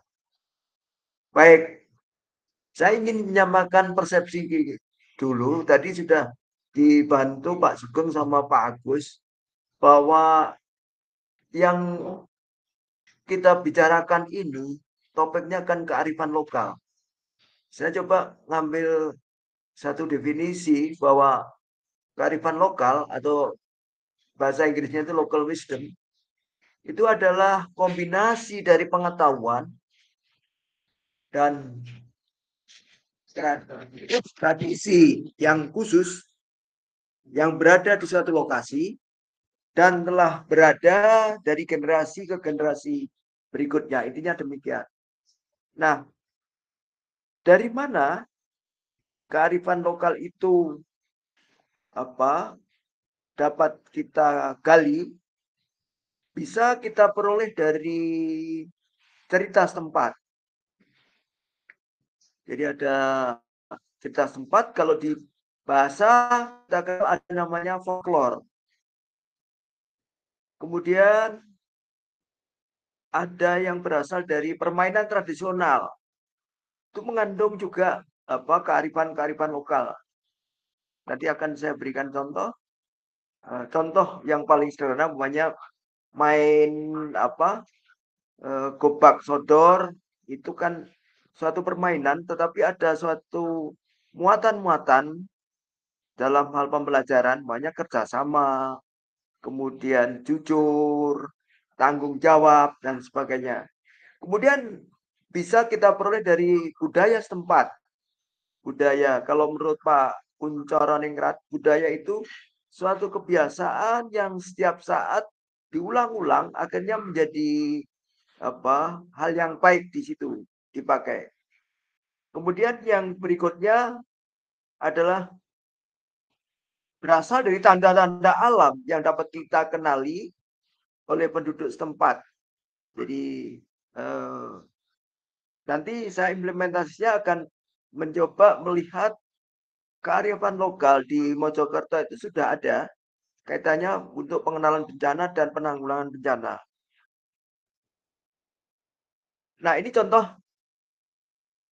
sumber belajar atau materi ajar yang bisa kita pakai sebagai apa integrasi di dalam pendidikan ilmu pengetahuan sosial yaitu di Patertan Jolotundo. Jadi di sekitar Desa Siloliman itu Bapak Ibu mesti tidak asing. Nah, di sana ada acara Ruatan Agung kalau saya browsing dari internet itu. Nah, di dalam Ruatan Agung itu sebetulnya ada beberapa selain budaya juga ada rasa cinta tanah air bagaimana menguri-uri, tarikan sumber air tersebut. Itu sudah dimiliki sejak lama oleh warga setempat. Jadi ini bisa digunakan sebagai sumber belajar pada anak-anak. Apa saja yang ada pada kearifan lokal eh, Ruatan Agung Patirtan Jolotundo itu. Kemudian yang berikutnya kaitannya dengan permainan. Permainan itu yang ada di Mojokerto atau mungkin secara garis besar di beberapa wilayah Jawa itu ada, makanya ini saya berikan eh, apa gateng atau kemungkinan mainan dakon itu kan ada nilai-nilai yang ada di dalam sana yaitu nilai kejujuran, toleransi, atau kerjasama. Kalau kita ingin memenangkan maka bukan harus menang tapi kerjasamanya itu tapi harus diikuti dengan kejujuran. Kemudian eh, kalau kita perhatikan seluruh dunia sudah tahu bahwa di Mojokerto ada bekas kerajaan Mojopahit. Nah, yang paling terkenal patihnya adalah patih Gajah Mada. Dari cerita sejarahnya bisa dipakai sebagai sumber belajar, yaitu dia sebagai panglima tokoh yang sangat berpengaruh Artinya bahwa saat remaja dia merupakan pemuda yang punya keahlian. Ini kan bisa sebagai contoh menghargai pahlawan kita. Kemudian dengan kecakapannya dia diangkat sebagai patih. Dua tahun kemudian dia diangkat sebagai patih Kediri. Ini apa sinya Gajah Mada kalau saya browsing dari internet seperti itu. menunjuk Gajah Mada, Aryo Tada itu menggantikan dirinya. Gajah Mada menolak penunjukan itu karena ingin membuktikan pengabdiannya terlebih dahulu. Nah, ini kan suatu fair play. Jadi dia tidak mau diangkat dulu sebelum mempunyai prestasi. Jadi dahulu kemudian yaitu menghentikan pemberontakan Keta dan Sadena. Ini satu contoh sumber kearifan lokal berasal dari cerita. Bisa kita sampaikan ke siswa. Nah, tadi Pak Sugeng sudah sedikit menyinggung. Sekarang kan ada dunia apa uh, e learning. Anak tidak mengalami kesulitan mencari sumber-sumber belajar ini. Saya sebagai contoh ini saya, saya saya orang Kertosono tetapi bisa mencari sumber-sumber kearifan lokal yang ada di Mojokerto dari ini. Nah, kemudian, nah kalau ini yang kedua, momennya bisa pakai sebagai sumber belajar, merekonstruksi kota Trawulan sebagai pusat aktivitas zaman kerajaan Mojopahit. Dari citra penginderaan jauh, pada waktu itu saya mahasiswa uh, kuliah itu di sembilan, pada waktu itu uh, sedang rame-ramenya Nah, apa kota pusat kota Mojopahit Trawulan itu apa bentuknya? Pada waktu itu Budi Budir Dirjen, Dirjen Perbokalannya foto citra satelit. Intinya pada saat itu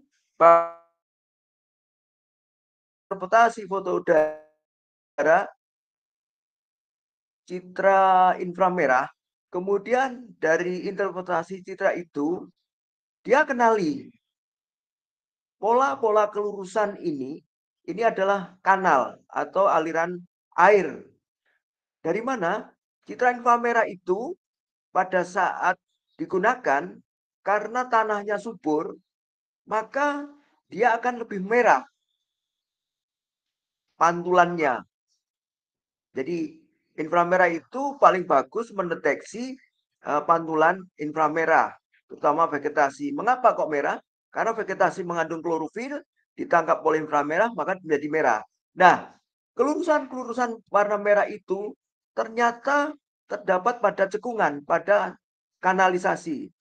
Nah, sehingga Fakultas Tanal dan Kemendikbud pada waktu Prof. Kardono dan Prof. Harsah Bahtiar sedikit bisa menyimpulkan bahwa ternyata pusat kota Mojopahit itu adalah kota air dengan ada eh, situs-situs uh, aliran Oke. Okay. Kelihatan Pak, porusan sudah ganti Pak gambar gajah muda? Belum, belum, belum. belum.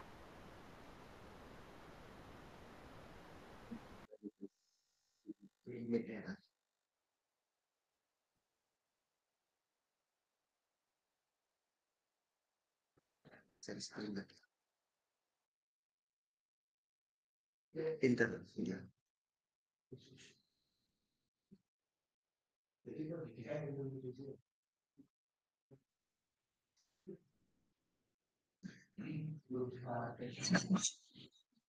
Belum.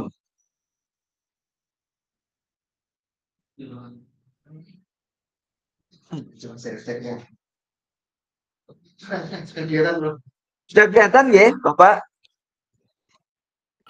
Halo? Nggih, sampun, Pak. Sampun. Sampun, sampun, sampun. Ah. Dari hasil rekonstruksi itu bisa disimpulkan bahwa kanal-kanal itu adalah untuk transportasi di kota Trawulan itu waktu itu ibu kota Majapahit. Jadi disimpulkan bahwa ibu kota Trawulan itu menggunakan transportasi air. Nah, di kanal ini buktinya bahwa itu tempat perairan dipakai untuk transportasi ditemukan beberapa apa cadik atau kapal kecil sisanya yaitu kayu-kayu itu bahwa itu diyakini oleh orang arkeolog. Jadi kerjasama antara arkeologi dan geografi ini yang yang sebagai contoh awal di IPS itu bahwa diyakini di situ adalah saluran air dipakai untuk transportasi. Sehingga pola keruangan seperti demikian diyakini ibu kota apa Trawulan waktu itu itu menggunakan transportasi air. Ini salah satu contoh kearifan lokal mungkin baik secara visual maupun langsung atau mungkin secara virtual eh, Bapak Ibu karena di Mojokerto ini paling yang bagus. Jadi menggandengkan momennya eh, hasil browsing mencocokkan di lapangan untuk memberikan tugas kata saja dengan model eh, pembelajaran apa tugas atau proyek untuk membuktikan benar apa enggak sih bahwa ada masih tersisa masih bisa dilacak aliran-aliran sungai kanal tersebut. Tapi yang terakhir, kalau saya mengikuti teman-teman dari ITS, ternyata ini mungkin pusat administratif gitu ya. Nah, kerajaannya itu di sana, daerah Kumitir di atas sana. Jadi mungkin kaitannya dengan sistem keamanan dan sebagainya. Eh, pemerintahnya dengan tempat apa pengistirahatan raja dan sebagainya itu agak jauh berbeda. Ini contoh di kearifan kaum lokal itu mengapa hancur kalau e, menurut pendekatan teman-teman sejarah bahwa Mojopahit itu serain kalah pada saat perang, tapi juga ada bencana alam. Jadi pada saat Bu Haryati Sudibyo dia ingin menyelamatkan situs Mojopahit itu susah Susah sekali karena sudah hancur. Nah, berikutnya ini ini Pak, ini sudah ganti PowerPoint Pak tidak Pak saya? Sudah Pak, gambar langsung. Sudah ya? Prof, sudah Prof, ganti. Sudah ganti ya? Ya. Ah, saya perhatikan ini ini pengalaman saya juga. Ternyata orang pajak sudah bisa Pak mengenali tanda-tanda akan ada longsor. Jadi di daerah Pacet, apalagi kalau menuju Cangar, pada saat hujan masih rintik-rintik gitu Pak, ini ada tanda batu kecil itu turun Pak, turun sepanjang jalan itu. Nah, saya waktu itu dihentikan sama penduduk di sana, Pak, jangan terus Pak. Ini di sana mesti akan terjadi longsor. Ya, memang menakutkan Pak, batu kerikil itu bisa melompat ke kaca mobil. Nah, secara umum tanda-tanda akan terjadi longsor itu kan tebingnya rapuh, kemudian ada retakan di lereng, kemudian ada beberapa tempat, terutama ini orang-orang daerah pegunungan, dia tahu muncul mata air yang tiba-tiba. Jadi rekan itu muncul air tiba-tiba itu atau spring kalau bahasa geografinya spring atau mata air itu itu tempat body yang akan longsor sana. Nah, secara fisik mungkin ada tiang listrik atau pohon miring. Masyarakat desa apa daerah pedesaan tahu betul sana. Ini kalau yang lain itu pengalaman saya di Tulungagung, Pak. Masyarakat Tulungagung itu saya perhatikan dia meng, me, mengapa apa batu itu ternyata batu itu ada seratnya, Pak.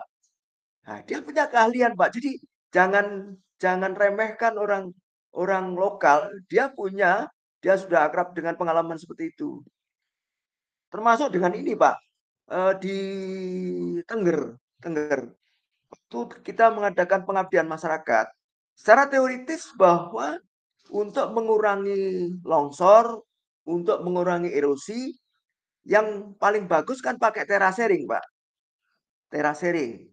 Jadi kita sudah siapkan teori terasering dan sebagainya. Nah, masyarakat Tengger sana itu memang pinter, nggak mau dia dia apa konfrontasi gitu. Silakan Pak, Bapak membuat itu. Dia memang kan tidak tidak menggunakan terasering Pak.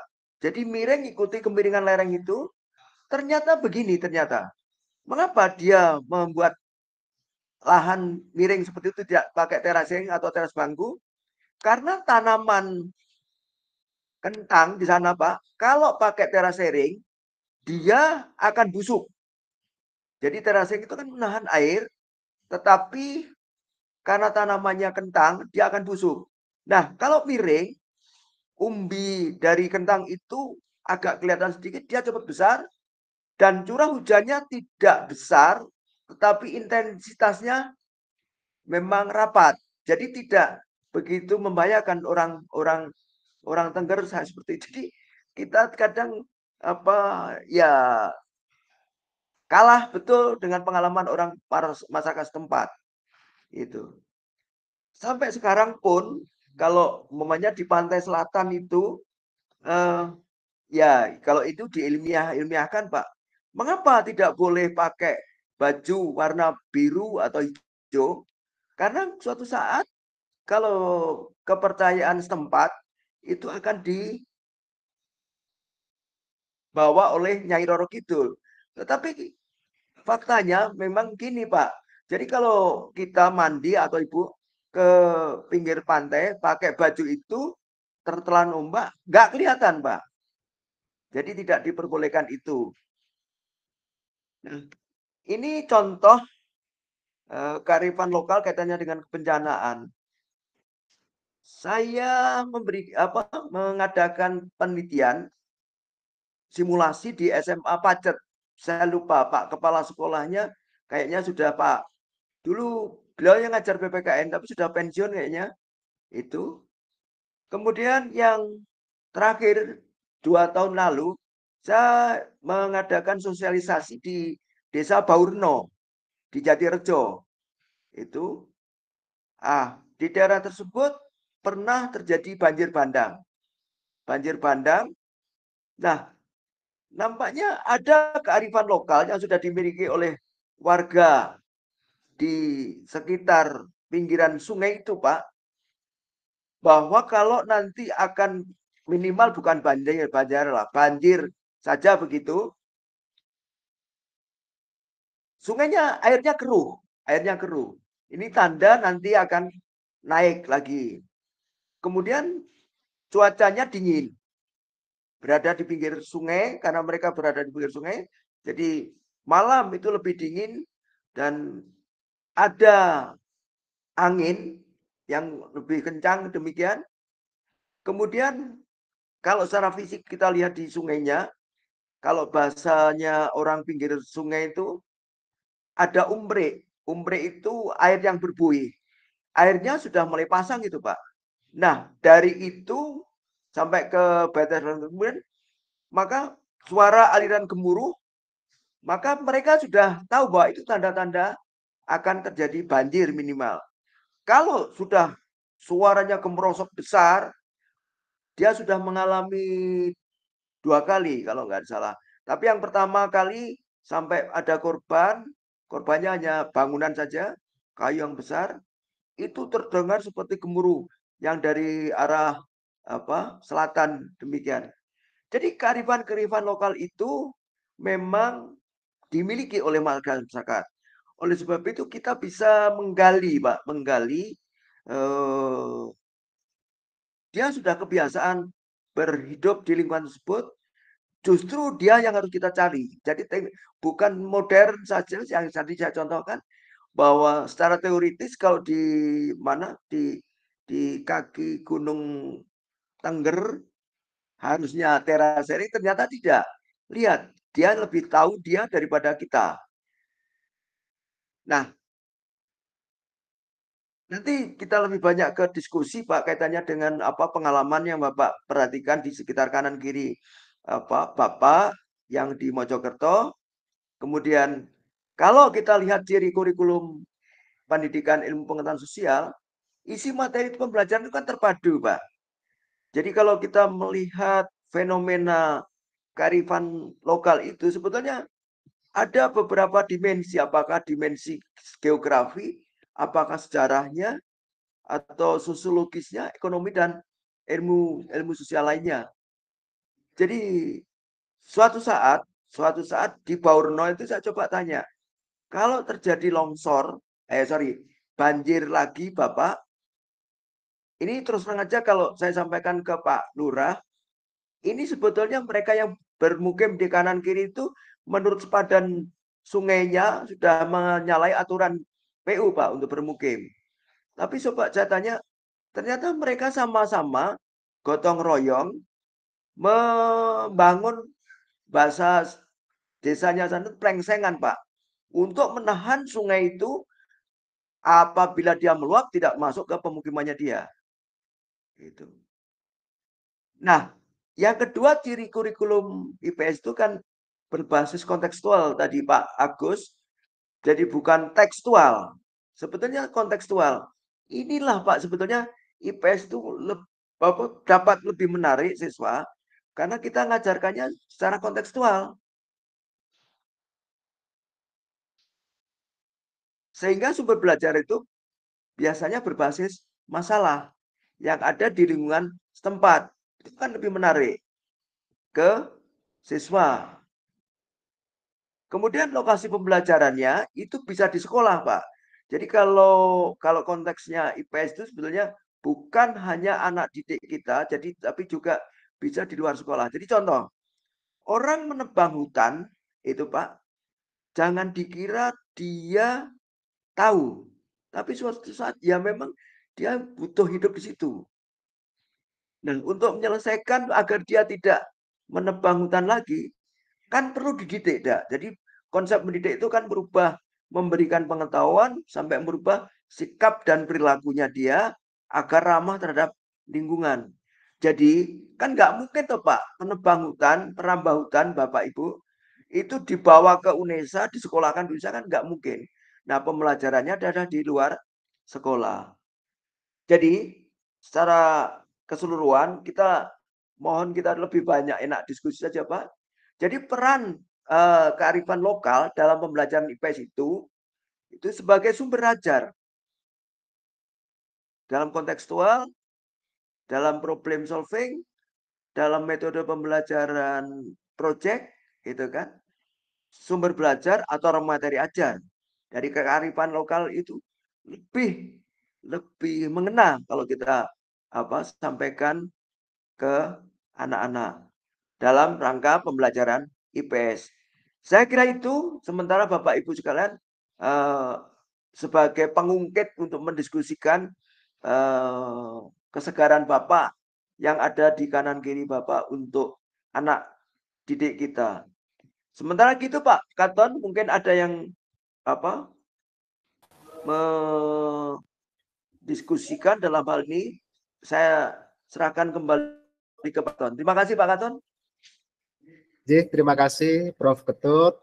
Bapak Ibu, ini diskusi kita sudah mulai di kontekstual. Eh, Prof. Ketut sudah menyampaikan bahwa di sekitar kanan kiri sekolah, kanan kiri lingkungan siswa, baik itu di rumah maupun di sekolah, itu terdapat banyak masalah yang bisa dikaitkan dengan pembelajaran IPS.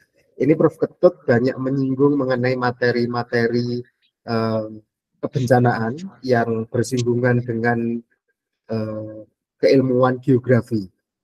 Juga bersinggungan dengan sejarah. Ya, di, ya, karena di IPS itu adalah uh, tidak berkonsentrasi pada satu keilmuan, tetapi memang uh, sebagai suatu interdisipliner keilmuan begitu. Sehingga guru IPS diharapkan bisa memberikan analisis kritis terhadap uh, materi konten-konten pembelajaran yang berbasis pada uh, interdisiplin keilmuan. Jadi Prof. Toto tadi menyampaikan bukan sekedar geografi, tetapi ada sejarahnya dikaitkan dengan sejarah keilmuan begitu. Bapak Ibu ada yang ingin kita diskusikan? Monggo untuk uh, raise hand, untuk angkat tangan. Karena akan selalu akan menarik ini kalau kita berbicara kontekstual lingkungannya. Uh, hari ini saya juga sudah membagi dalam beberapa kelompok begitu ya. Nanti Bapak Ibu uh, untuk apa? Untuk penugasan asinkronus itu akan berbicara mengenai lingkungan sekitar. Jadi kelompok satu itu Dawar Gelandong dan sekitarnya, kemudian kelompok dua Trawulan dan sekitarnya, kelompok tiga Bangsal Gelanggu dan sekitarnya, kelompok empat itu Mojosari, Pungging, Ngoro yang berkaitan dengan industri ya, karena pusat industrinya Mojokerto ada di sana. Kemudian kelompok lima itu ada Trawas, Pajat, Gondang yang memang memiliki kontur tanah um, tinggi ada yang ingin kita diskusikan, Bapak Ibu? Kelihatannya tidak ada, Prof. Apa yeah. ada closing statement gitu, Prof Ketut, untuk untuk uh, pertemuan kita hari ini? Baik, ya terima kasih Pak Katon. Mohon izin Bapak Ibu sekalian bukan mengajari, tapi uh, kita hanya mengingatkan Bapak saja bahwa sebetulnya di sekitar kanan kiri Bapak namanya materi ajar, materinya sumber belajar itu sangat banyak sekali kalau kita jeli. Sehingga kalau apa kita benar-benar mampu dan mau memanfaatkan sungguh sangat berlebih Pak untuk untuk pembelajaran anak kita. Saya kira itu Pak Gaton. Terima kasih. Jing, terima kasih Prof. Ketut atas uh, materi yang telah disampaikan kepada kita semua. Kita akan masuk pada materi yang terakhir uh, dengan narasumber yang terakhir pula. Narasumber kita ini adalah yang terakhir Bapak Dr. Sukma Dana Prasetya SPDMT. Saya akan membacakan uh, kurikulum vitae uh, singkatnya. Beliau menyelesaikan pendidikan S1 Pendidikan Geografi di Universitas Negeri Surabaya kemudian melanjutkan S2 penginderaan jauh di Institut Teknologi 10 November Surabaya, kemudian S3 beliau diselesaikan di program Doktor Teknologi Pendidikan Universitas Negeri Malang. Saat ini beliau menjabat sebagai koordinator program studi S2 Pendidikan Geografi. Sebelumnya pernah menjabat sebagai ketua program studi S1 Pendidikan IPS Universitas Negeri Surabaya saat ini juga tergabung di dalam program studi S2 Pendidikan Pendidikan IPS mengampu mata kuliah yang berkaitan dengan teknologi pembelajaran dan geografi. Kepada yang terhormat Bapak Dr. Sukma Perdana Prasetya, SPDMT, kami persilakan untuk menyampaikan materi selama 45 menit. Baik, uh, terima kasih. Uh, apakah bisa mendengar suara saya, Bapak Ibu? Jelas, yeah. Bapak. Bisa. Jelas, jelas, jelas. Alhamdulillah, Baik. Uh, Bismillahirrahmanirrahim. Assalamualaikum warahmatullahi wabarakatuh. Waalaikumsalam warahmatullahi wabarakatuh. Alhamdulillah. Waalaikumsalam warahmatullahi wabarakatuh. Alhamdulillah bersyukur kepada Allah Subhanahu wa taala karena pada siang hari ini kita bisa bertemu uh, dalam keadaan syahdu alfiat di kegiatan pengabdian kepada masyarakat melalui uh, daring ya dengan uh, channel ada di YouTube, ada juga di Google Meet bersama kerjasama dengan MGMP uh, eh, IPS uh, eh, Mojokerto. Uh, yang terhormat uh, Bapak Suntoro, uh, ini uh, beberapa kali kami kesempatan ketemu. Kemudian Pak Mulyono, juga Bapak Ibu yang lain ya, yang tidak bisa saya, saya sapa satu persatu. Kemudian Prof. Ketut, guru kami, Pak Agus Supriyono, Dr. Agus Supriyono selaku kontrol di pendidikan IPS, Bu Kusnul, selaku Bu Dr. Kusnul selaku uh, ketua pelaksana Uh, bahagia sekali rasanya pada siang hari ini saya bisa diamanai untuk uh, membersamai Bapak Ibu dalam kegiatan PKM ini.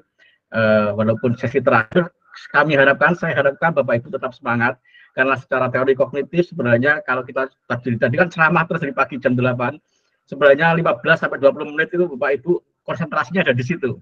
Ini, ini sudah jam 4 hampir ke 4 jam. Semoga Bapak Ibu masih tetap semangat mengikuti apa yang nanti uh, saya paparkan. Gitu ya Pak Ibu tetap semangat. Semangat Bro Alhamdulillah terima kasih Pak Khairul Pak Teguh Bu Feni ya, Pak Christian Bu Siti Fatimah uh, dan dan yang lain yang mungkin tidak bisa saya sapa satu persatu. Mohon izin share screen gitu Bapak Ibu bisa melihat share screen saya bisa Pak, bisa, bisa, bisa. Bisa, ya. Baik, uh, pada kesempatan ini saya akan menyampaikan uh, media pembelajaran berbasis kearifan lokal, terutama yang ada di Kabupaten Mojokerto. Bapak Ibu, mengapa sih guru perlu media pembelajaran? Seandainya Bapak Ibu, uh, kita itu mampu gitu ya. Sebenarnya kita itu, maaf kalau saya berani menyampaikan tidak perlu media pembelajaran Nah, seperti contoh ya, ada contoh beberapa tokoh yang komunikasinya hebat, seperti Bung Karno. Bung Karno itu pernah ya eh, apa pidato di Hungaria begitu dengan bahasa Inggris, walaupun masyarakat Hungaria tidak bisa berbahasa Inggris, eh, tetapi masyarakat Hungaria itu mampu menerima apa yang disampaikan oleh Bung Karno. Itu karena seorang komunikator yang hebat walaupun tanpa media. Barack Obama juga demikian ya uh, apa yang dia sampaikan itu benar-benar mampu menghipnotis atau di, dapat ditangkap dengan baik oleh masyarakatnya sehingga mau mengikuti apa yang disampaikan. Nah masalahnya kita bukan Barack Obama, kita bukan Bung Karno, kita guru yang kadang-kadang mempunyai keterbatasan pengetahuan atau hafalan kita terbatas atau kadang-kadang apa yang kita sampaikan kurang menarik ya sehingga perlu sekali menggunakan media atau medium atau perantara agar pesan yang kita sampaikan itu bisa sampai ke murid dengan baik. Jadi media itu pada dasarnya adalah medium, letaknya di tengah untuk menyampaikan pesan dari kita, dari guru kepada murid agar apa yang kita sampaikan itu diterima dengan baik. Kita menyampaikan A, nanti murid juga menerima A. Gitu ya, jadi tidak ada miskonsepsi. Itulah sebenarnya Bapak Ibu secara sederhana apa itu uh, fungsi media pembelajaran. Nah, mengapa kita memilih berbasis kearifan lokal. Nah ini ada beberapa karya yang dibuat ya oleh saya, kemudian Pak Nuwarsa Bayu Segara, Pak Muhammad Elias, bagaimana uh, kearifan lokal di masyarakat uh, Malang Selatan ya Bapak Ibu, bagaimana adaptasi kehidupan masyarakat pesisir Malang Selatan, uh, bagaimana kehidupan nelayan, kehidupan pariwisata, kehidupan religi, sosial, budaya. Nah, di sana itu kita kita potret kemudian kita analisis kita gali untuk kita sajikan sebagai sumber belajar IPS. Ini salah satu ya salah satu uh, media uh, untuk menyampaikan uh, pembelajaran yang berbasis kearifan lokal ini di Malang Selatan. Nah, bagaimana nanti di Mojokerto tentu setiap wilayah punya kearifan lokal masing-masing seperti itu. Nah, Bapak Ibu, dari gambar ini tentu kita bisa bertanya-tanya ya, sebenarnya apakah kehidupan mereka ini bahagia? Nah, pertanyaan seperti itu. Nah, ketika kita hidup di kota, kadang-kadang kita memimpikan ya, betapa enak hidup di desa ya jauh dari kebisingan, jauh dari keramaian, penuh dengan ketenangan gitu. Kalau masyarakat petani juga demikian, ala enak hidup di kota gitu ya. Uh, di sana serba ada kecukupan, mau hiburan, mau apa, aksesibilitas semuanya serba mudah ketika kita di pantai kita sangat merindukan gunung. Ketika kita di gunung sangat merindukan pantai. Ketika kita mengalami musim kemarau kita merindukan musim hujan. Ketika hujan terus menerus tiap hari mengakibatkan kadang banjir kita merindukan kemarau. Demikian pula kehidupan ini Bapak Ibu. Uh, jadi uh, sekali-kali kita perlu menengok ke belakang apa ya, menengok sebentar ya, bolehlah ke belakang bagaimana sebenarnya kehidupan kearifan masyarakat lokal kita yang perlu kita gali untuk pembelajaran IPS. Nah ini sangat perlu saya kira kita menggali sebentar uh, untuk melihat uh, bagaimana kearifan-kearifan lokal yang ada di sekitar kita di Kabupaten Mojokerto uh, untuk kita gali, kita sajikan dalam sumber belajar di anak didik kita. Karena di era globalisasi ini kadang-kadang kita kalah ya dengan yang maaf ya anak-anak kita kan lebih sering melihat TikTok, sering lihat Instagram atau media sosial yang lain, YouTube dan lain sebagainya sehingga mengalahkan media-media eh, mengalahkan sumber-sumber pembelajaran yang berbasis kearifan lokal. Bahkan kita sendiri Bapak Ibu. Nah, kadang-kadang seperti itu kita sendiri juga terhanyut di dalam globalisasi itu sehingga melupakan uh, kearifan budaya lokal yang sesungguhnya menurut saya mempunyai eh, nilai-nilai uh, uh, yang. Nah, ini persoalannya Bapak Ibu. Mengapa kita perlu menggali kearifan kebudayaan lokal? Karena kebudayaan lokal itu berubah-ubah nilainya berubah dan lingkungan pun berubah. Seperti tadi saya katakan, eh, media sosial, kehidupan global itu kencang sekali ya menggerus peserta didik kita gitu sehingga melupakan ini. Sarana transportasi, komunikasi semakin terbuka, semakin lebar, kemudian sesuatu yang global dengan ciri kapital dan nasional merembah ya merembes merembes masuk ke desa-desa gitu sehingga sikap hidup atau kearifan dalam menjalani di desa pun berubah. Jadi di desa-desa pun juga mengalami beberapa pergeseran atau perubahan-perubahan nilai sehingga kearifan lokal itu semakin lama semakin berubah. Saya ingat Bapak Ibu di desa saya itu uh, ada sumber air kerawak ya di daerah Tuban itu. Dulu itu ikan itu terjaga betul, ikan-ikan itu terjaga. Sumber airnya jernih sekali begitu. Karena ada kepercayaan kalau makan ikan di sana itu akan sakit gitu. Bahkan mungkin bisa meninggal gitu. Karena ikannya beracun dan lain sebagainya membawa aja ada penunggunya dan lain sebagainya. Begitu kehidupan orang kota datang globalisasi datang mereka tidak mengkeramatkan sendang itu atau sumber air itu sehingga ikan itu diburu. Kemudian dipakai kegiatan ekonomi dan lain sebagainya sehingga rusaklah lingkungan itu ketika eh, kearifan budaya lokal itu sudah mulai hilang Nah itu ya kadang-kadang lingkungan juga ikut e, mengalami perubahan.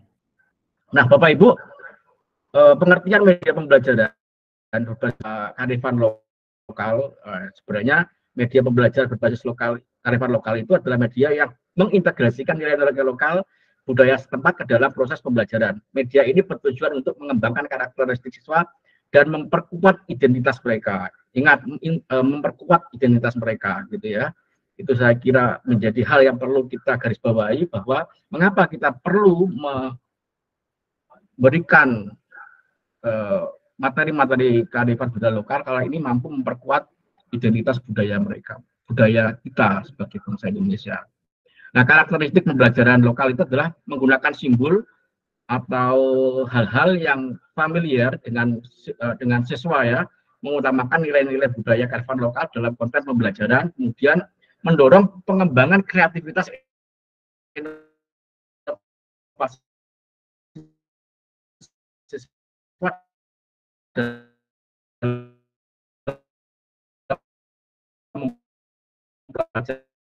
jadi uh, materi mendoka. Jadi kita juga mendorong siswa tidak hanya menikmati, siswa ada proyek itu proyek penguatan proyek belajar Pancasila. Nah, siswa itu bisa menggali budaya-budaya lokal yang ada di Mojokerto kemudian disajikan dalam berbagai bentuk kegiatan ataupun media pembelajaran. Nah, implementasi dalam media pembelajaran berbasis kearifan lokal, misalkan di dalam era digital, media pembelajaran berbasis kearifan lokal dapat diimplementasikan melalui platform online ya, uh, seperti pembelajaran e-learning, video budaya gitu ya. Namun eh, konten-konten yang didesain pembaca harus tetap mengutamakan nilai-nilai budaya dan kearifan lokal agar tetap relevan dan bermanfaat bagi siswa. Di beberapa sekolah di Bojonegoro, Bapak Ibu, eh, di SMA gitu ya, atau di SMP juga ada. Jadi siswa-siswa itu disuruh misalkan di Bojonegoro itu ada kayangan api. Nah, di kayangan api mereka diminta ke sana gitu ya, secara berkelompok proyek P5 ya untuk meliput bagaimana kayangan api, bagaimana aspek budaya, aspek sosial, uh, aspek ekonomi dan lain sebagainya untuk diketengahkan di dalam media pembelajaran dan diupload di channel YouTube mereka. Nanti di tag di tag sekolah mereka, misalkan SMP 6 Bojonegoro, wah, itu ya. Lalu lalu mereka ke kebun bimbing, mereka ke bendungan gerak, ke waduk uh, minta untuk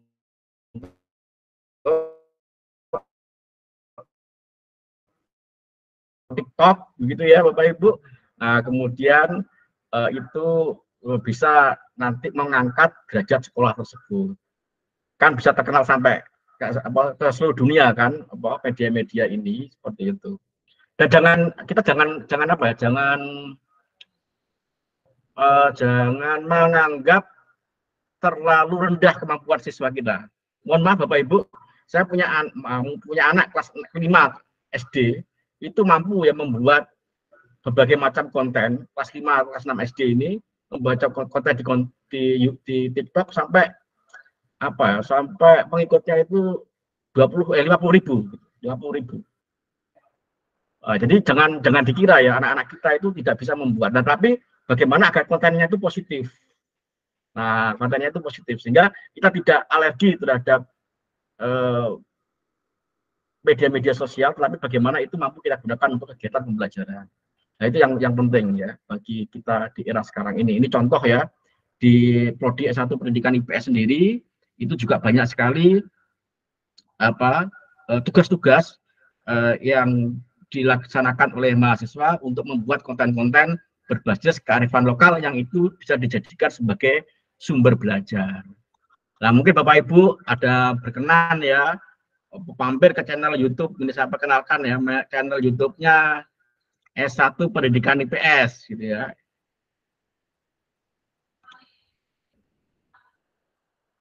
Sebentar Bapak Ibu.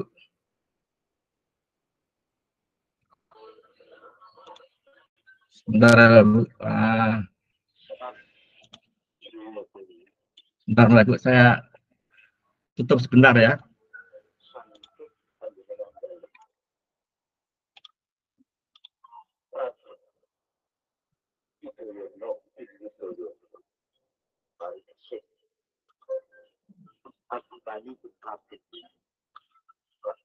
Oh ini nggak bisa dianu ya begitu.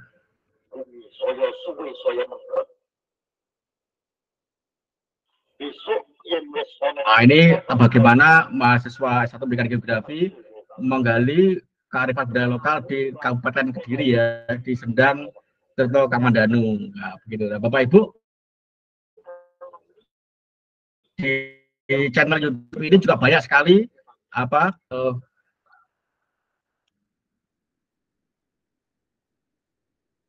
konten-konten kearifan budaya lokal di Mojokerto juga ada apa di apa senda apa uh, segala segala anakan kemudian uh, museum Majapahit itu ada sudah dibuat oleh mahasiswa-mahasiswa kami ya Bapak Ibu menginginkan sumber belajar di situ di di, di channel YouTube kami sudah sudah banyak itu tersedia. Nah itu ya contoh uh, bagaimana melibatkan siswa kita di dalam pembuatan konten media pembelajaran nah, seperti itu. Nah, Bapak Ibu apa jangan dikira Mas apa siswa SMP tidak bisa membuat sangat bisa Bapak Ibu, yakin saya. Nah, Bapak Ibu, media pembelajaran eh, yang berbasis kearifan lokal itu sangat uh, membutuhkan inovasi teknologi ya di dalam pendidikan yang memanfaatkan kearifan budaya lokal tersebut ya perlu sekarang zaman sekarang kita memasukkan teknologi uh, di dalam pembelajarannya sehingga meningkatkan aksesibilitas dan interaktif dalam media pembelajaran itu. Kita nggak bisa hanya menggunakan PowerPoint atau video kita tayangkan di kelas itu nggak bisa, apa nggak cukup saya kira. Jadi media-media pembelajaran yang berbasis tadi apa aksesibilitasnya tinggi, interaktifnya tinggi seperti media sosial itu mampu sebenarnya bahwa kita gunakan uh, lebih lebih baik menurut kami seperti itu. Nah, peningkatan aksesibilitas teknologi digunakan untuk meningkatkan aksesibilitas uh, media pembelajaran berbasis kearifan lokal ya contohnya media pembelajaran dapat diakses melalui platform online ya sehingga siswa bisa mengakses di mana saja dan kapan saja gitu ya. Nah,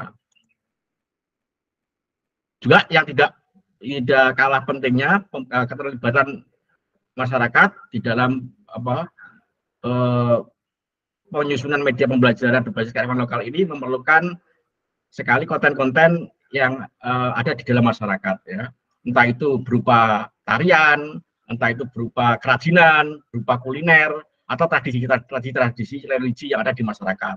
Ini kan lahir di dalam masyarakat ya kesenian tarian kesenian uh, kerajinan kuliner. Nah itu bisa sebagai sumber belajar. Atau tradisi-tradisi itu bisa sebagai sumber belajar. Nah potensinya uh, sangat besar saya kira. Dan tantangannya keterbatasan sumber daya aksesibilitas ini yang saya kira perlu Bapak Ibu guru meningkatkan kemampuannya. Nanti setelah itu setelah ini saya kira nanti ada ada ada ketidak tidak lanjut ya dari uh, Bu Kusnul untuk lebih lebih teknis ya bagaimana Bapak Ibu nanti membuat uh, suatu produk uh, seperti itu.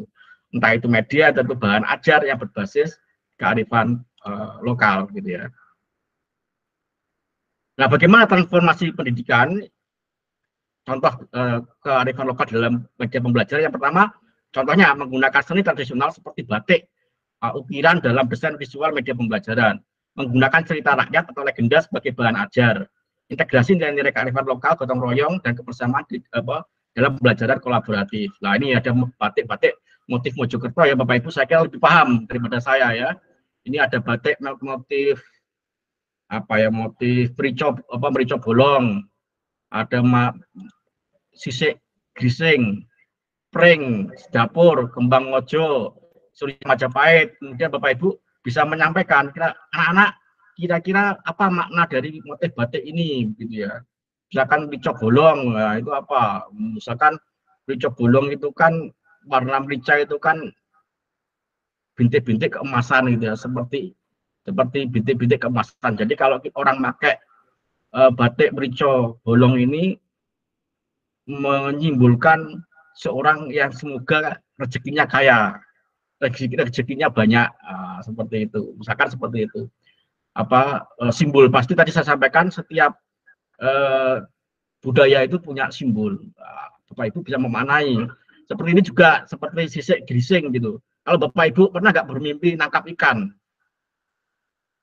bermimpi nangkap ikan katanya orang tua saya kalau mimpi nangkap ikan itu sisi ikan itu ya seperti rezeki gitu kalau bapak ibu mimpi nangkap ikan akan mendapat rezeki. Jadi kalau batik kita itu motifnya sisi ikan berarti kita itu diharapkan mempunyai banyak rezeki dan lain sebagainya. Nah itu bapak ibu pasti eh, setiap apa setiap kenapa warnanya seperti ini? Coklat kemasan apa ada yang warnanya merah? Nah, itu pasti punya mana simbolik. Seperti Surya Majapahit itu kan ada beberapa mata penjuru itu ada enam mata penjuru gitu ya itu menyimpulkan keseimbangan di dalam kita dan lain sebagainya. Nah itu ya di desain batik nah, itu bisa bapak itu bapak ibu terapkan sebagai media pembelajaran kemudian disampaikan apa makna simbolik dari dari masing-masing batik tersebut. Nah, kemudian cerita ya penggunaan uh, legenda-legenda. Nah ada legenda ini dibuat juga ma mahasiswa kami ya skripsi mahasiswa kami. Ini uh, tentang apa legenda Panji ya ini uh, kalau nggak salah ini tentang Dewi Sekartaji ya, seperti itu. Nah ini juga gitu ini ada di mana di beberapa relief candi tentang, tentang kisah Bubuksah dan Gagang Aking gitu ya. Uh, di mana kalau saya apa kalau saya nggak salah cerita ini ada Bu Musa ini adalah dan Gagang Aking ini adalah apa adalah dua orang saudara gitu yang mencari guru. Kemudian oleh ketemu guru pergi kemudian uh, disuruh menerapkan teori ilmunya dalam kehidupan sehari-hari. Ternyata Bu Musa dan uh, Gagang Aking itu berbeda. Gagang Aking itu dia bertapa, dia menjaga makanan, gitu, tidak mau melakukan hal-hal karma gitu, yang buruk. Sedangkan si bubuk sak itu makan daging, dia mabuk-mabukan gitu, dan berperilaku apa adanya. Suatu saat dewa itu menguji, mendatangkan harimau. Nah, dia mendatangi dagang aking dulu. Dagang aking kamu makan saya makan gitu. Bagaimana kalau saya kamu saya makan dagang aking nggak mau saya ini kurus, saya ini apa uh, tidak baik tidak enak kalau dimakan tidak tidak tidak apa tidak menimbulkan banyak uh, daging gitu karena itu lebih baik kamu makan bubuk sah gitu. akhirnya si, si, si harimau itu maka menawar mengancam menanyakan ke bubuk sah bagaimana kalau kamu saya makan? Oh ya apa-apa. Gitu. Kalau kamu makan makan saja saya. Kalau saya sudah menikmati kenikmatan dunia kamu mau makan makan saja. Kemudian harimau ini kemudian menjelma menjadi dewa dan mengatakan sesungguhnya saya ini adalah utusan dewa ingin menguji kamu keikhlasan kamu. Nah, ternyata yang lebih ikhlas itu adalah bungkus tadi. Akhirnya bungkus naik ke punggung apa ke punggung harimau untuk masuk ke di bawah ke nirwana. Sedangkan si gagang ngati juga mau ikut. Nah, tapi tidak boleh ya sama harimau itu. Nggak boleh kamu kan nggak ikhlas gitu. Nah, sehingga akhirnya si bungkus mengatakan nggak apa-apa apa kakak saya kamu mau ikut tetapi ikutnya nanti ke nirwana harus menggandol di ekornya dan sebagainya. Nah itulah contoh bagaimana cerita Panji. Itu kita ambil makna simboliknya bahwa kita hidup itu harus ikhlas. Jadi apa pun yang kita lakukan, yang pertama kali itu harus ikhlas. Kita sebagai guru juga kita mengajar dengan ikhlas dan sebagainya. Jadi nilai-nilai daripada apa cerita-cerita Panji itu ada makna simboliknya yang itu yang kita uh, kita sajikan kepada siswa kita itu bekerja harus ikhlas yang pertama kali. Nah, seperti itu. Nah, demikian juga ini mungkin Bapak Ibu sudah sering ya melihat ya cerita kerasakti ya. Ternyata Tong Samcong itu punya murid gitu ya. Ada kerasakti, kerasakti itu cerdas tetapi nakal sekali. Kemudian Patkai ini suka selalu melanggar pantangan gitu ya. Tujuh pantangan ya dia main perempuan, main judi, main mabuk-mabukan, Uh, sedangkan uh, si Wu Jing ini adalah bodoh tapi jujur, bodoh tapi jujur dan penurut. Tapi uniknya semua perilaku anak didik Tom Sang Chom ini tidak dirubah karakternya. Kerasakti nakal, kemudian si Patkai ya tetap apa ya tetap uh, melanggar pantangan sering gitu si Wucing juga tetap bodoh gitu. Tapi kedua Sang Chom tetap apa ya mendidik ke semua muridnya dengan dengan dengan hati sehingga semua muridnya termasuk mudanya ya itu hanya sebagai pang, pa, pa, pa, pa, membawa beban semuanya itu menjadi menjadi dewa akhirnya. Jadi kita sebagai guru nah itu walaupun bagaimanapun karakteristik siswa kita ada yang nakal ada yang pintar ada yang bodoh dan dan sebagainya kita sebagai guru tidak boleh apa ya tidak boleh menduakan atau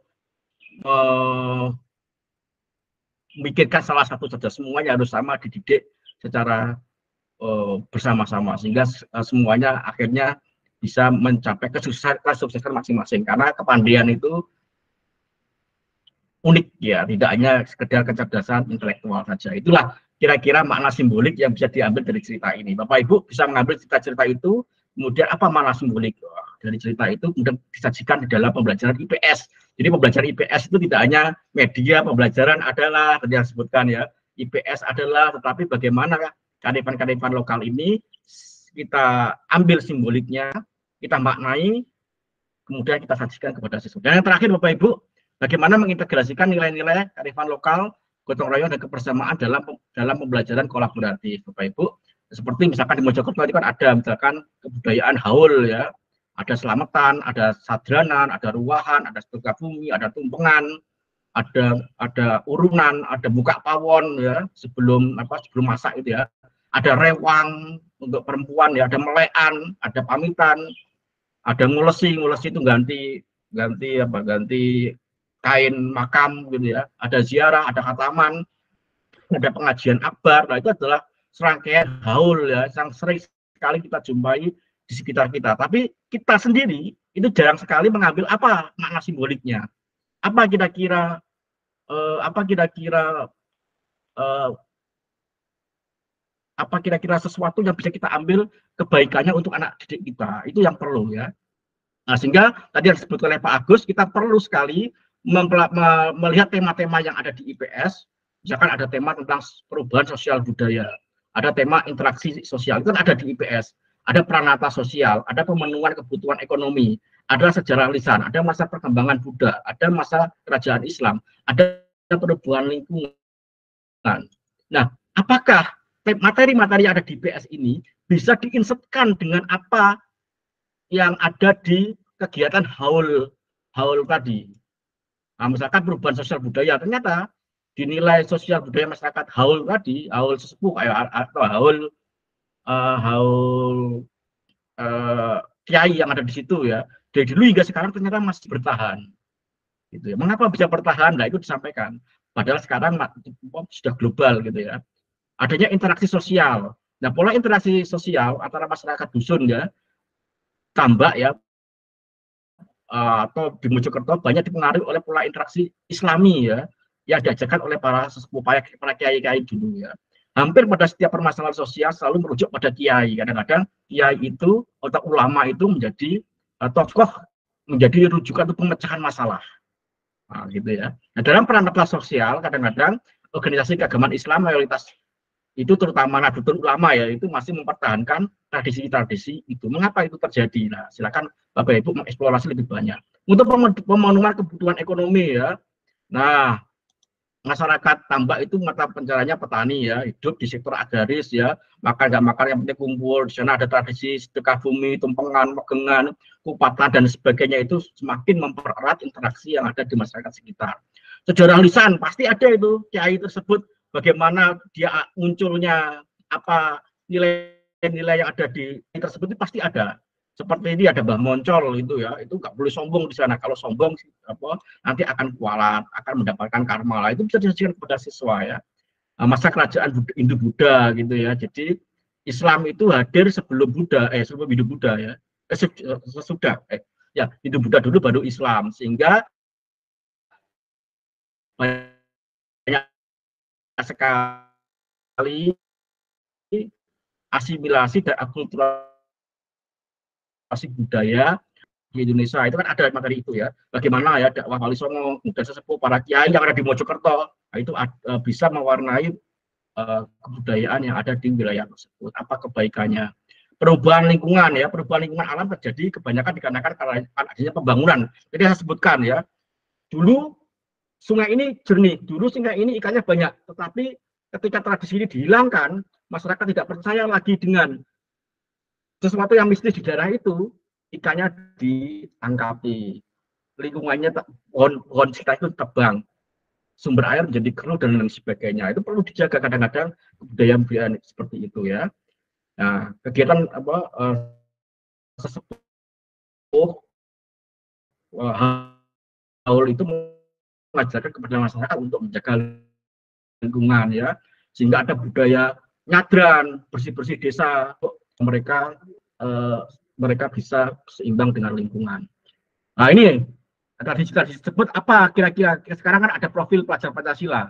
Kira-kira apa dimensi yang bisa diambil dari kegiatan tersebut? Ini dikaitkan dengan profil pelajar Pancasila karena sekarang itu kita pada berada pada kurikulum merdeka. Sadaran itu kan kegiatannya mendoakan di kuburan ya di makam leluhur. Itu tujuannya apa?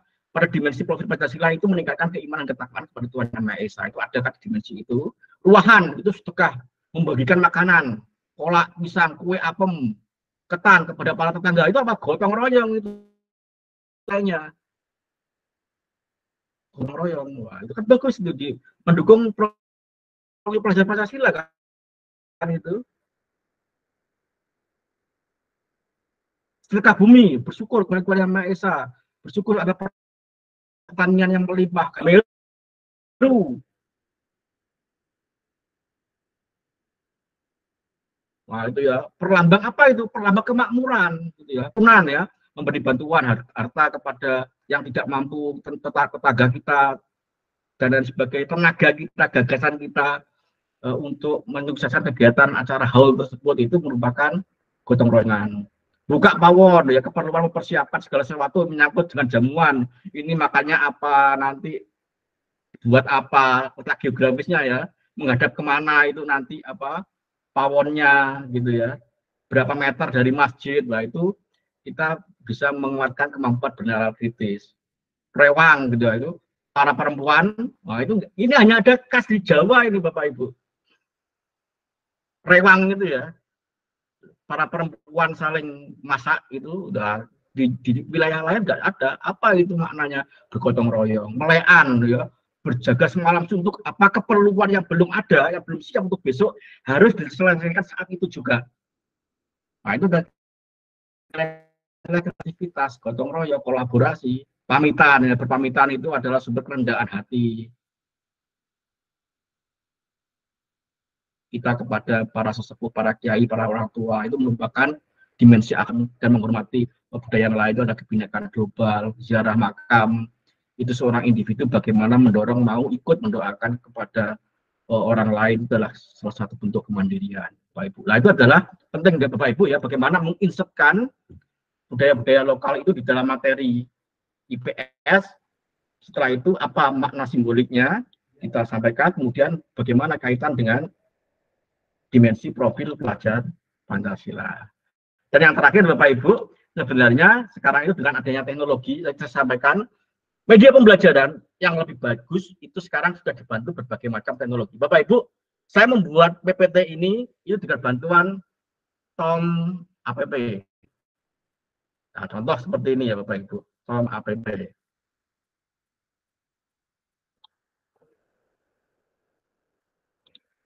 Nah, Bapak Ibu bisa melihat ya, nggak tahu itu aja, bisa melihat uh, slide saya Bapak Ibu. Bisa melihat bisa, ya? bisa, bisa. Ya. Bapak Ibu ingin membuat slide apa? Bisa Pak Bisa. Ini ini tadi ya, Tom APP. Bapak Ibu ingin membuat slide tentang apa? Pak Sentoro ingin membuat slide tentang apa? kebutuhan kebutuhan hidup kebutuhan hidup ah, manusia kebutuhan hidup manusia saya tulis ya ya ini ngancam kita buat sendiri pak ini pak PPT-nya pak. Kita tunggu ya. Kebutuhan hidup manusia.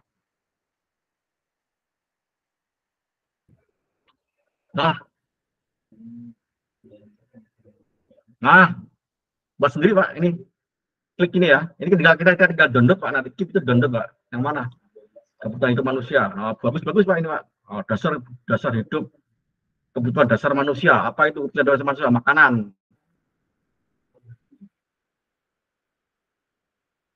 Apa itu keputusan hidup manusia? Perspektifnya. Nah, gitu ya.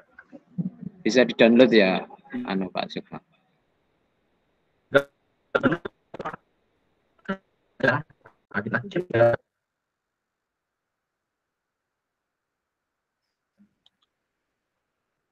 Ah siap sudah ada gambarnya ah, ah, contoh seperti itu ya Pak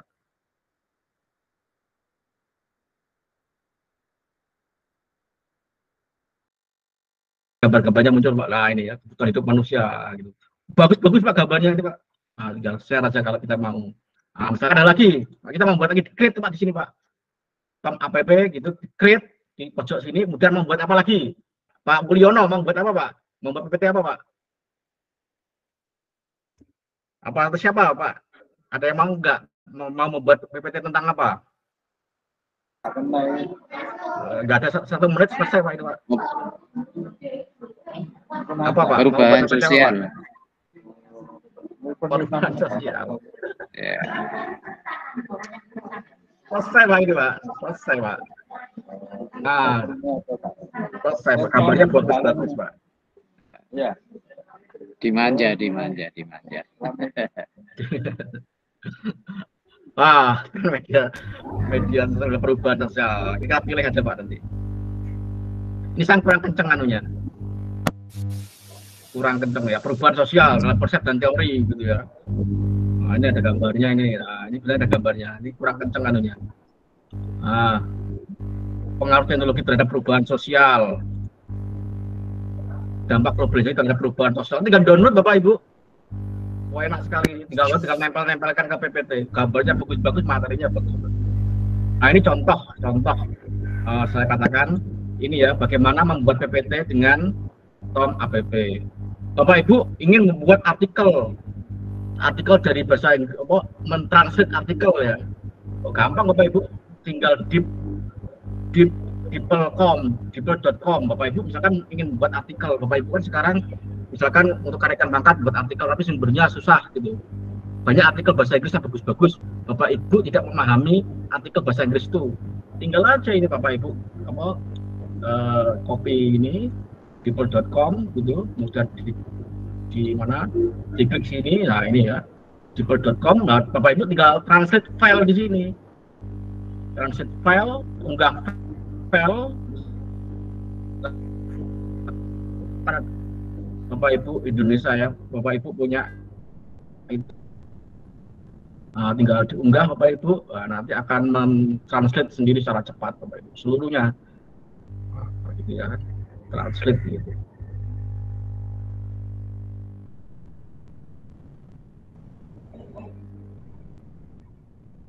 Nah, nanti cepat ini tapi tadi tapi kita perlu nanti kita perlu login dulu ya.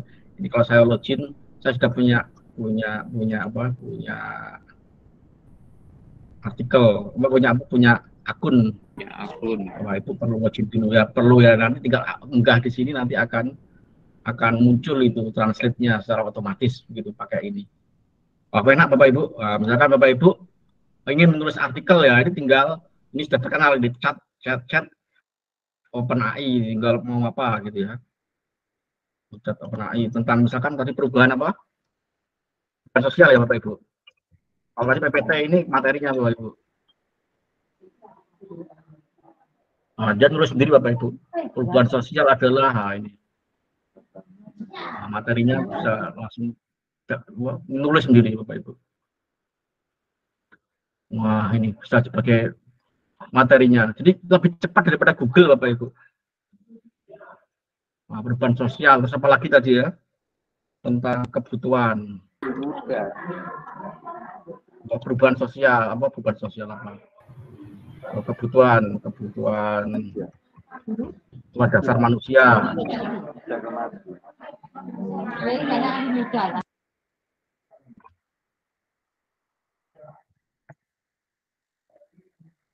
Nah, kebutuhan dasar manusia adalah bla bla bla bla bla bla kebutuhan fisiologis, kebutuhan keamanan, kebutuhan sosial emosional, kebutuhan pendidikan, kebutuhan macam-macam itu Bapak Ibu. Nah, itu sebagai dasar bisa juga untuk membantu Bapak Ibu pengajar. Tapi kalau dalam bentuk tampilan tadi pakai tom APP. Nah, itu, tapi ini kalau untuk materinya nah, bisa nanti menggunakan seperti ini. Atau buat artikel-artikel gitu ya kadang-kadang membantu ingin anu gitu apa atau juga mencari artikel ya untuk menyusun artikel karya ilmiah itu pakai Elicit ORG gitu ya.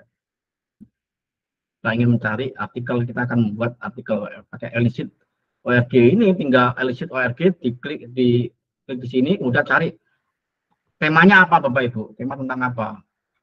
Kearifan budaya lokal misalkan ya. Kearifan budaya lokal nah, nanti seluruh artikel-artikel akan muncul di sini Bapak yang kita butuhkan. Papernya. Kita tinggal aduh artikel kearifan budaya lokal lah ini bapak ibu sudah muncul ya. Kita tinggal apa tinggal download aja. Nah, tinggal download aja ini kalau kita klik ini akan muncul artikelnya yang terkait dengan kearifan budaya lokal. Jadi ini semakin memudahkan kita untuk mau membuat artikel mau membuat PPT mau membuat materi membuat media. Wah luar biasa bapak ibu. Sekarang kemajuan AI itu ya. Kita sulit sekali membentuk Bapak Ibu, eh, sebelum saya akhiri, dengan AI itu semakin mengerikan Bapak Ibu. Bapak Ibu bisa membuat deskripsi, Bapak Ibu dari chat GPT tadi ya, Bapak Ibu bisa membuat deskripsi materinya, nanti itu bisa muncul misalkan tentang bagaimana perkembangan Majapahit dari Raden Wijaya sampai Ayam Wuruk. Nah itu kalau bagus skripnya nanti ada AI yang bisa membuat itu menjadi gambar. Tulisan itu bisa menjadi gambar Bapak Ibu. Otomatis itu kita nggak usah nggak usah membuat gambarnya dibuat gambar kemudian dari gambar itu bisa membuat animasi. Dengan AI itu dari tulisan kita menjadi gambar dari gambar menjadi animasi dalam waktu satu menit. Seperti tadi kita hanya ngetik apa perubahan sosial slide-nya sudah dibuatkan AI slide-nya ya kita tinggal mengetik perubahan sosial materinya sudah dibuatkan oleh AI. Nanti juga gitu, deskripsi, deskripsi yang kita inginkan tentang suatu cerita atau tentang suatu kronologi itu nanti bisa dibuat gambar oleh AI. Nah, nanti dari gambar itu bisa dibuat animasi. Wah, itu nanti ke depan dan bukan ke depan itu sudah terjadi Bapak Ibu. Jadi kita sekali lagi jangan sekali alergi dengan teknologi informasi. Media-media pembelajaran berbasis lokal tadi ya yang sudah deskripsikan itu nanti bisa menjadi gambar, itu nanti bisa dibuat menjadi animasi secara otomatis. Tunggu tanggal mainnya, tapi sudah itu. Suatu saat mudah-mudahan kita masih bisa berjumpa lagi dalam waktu kesempatan untuk menggali lagi lebih jauh tentang AI ini. Itu mungkin yang saya sampaikan Pak Katan. Terima kasih. Ya, terima kasih Pak Sukma. Bapak Ibu apa ada pertanyaan ini mengingat sudah waktu pukul 11. Oh, Pak Sahrial, silakan Pak Sahrial angkat tangan, silakan memberikan pertanyaan kepada Pak Sukma. Pak Sukma.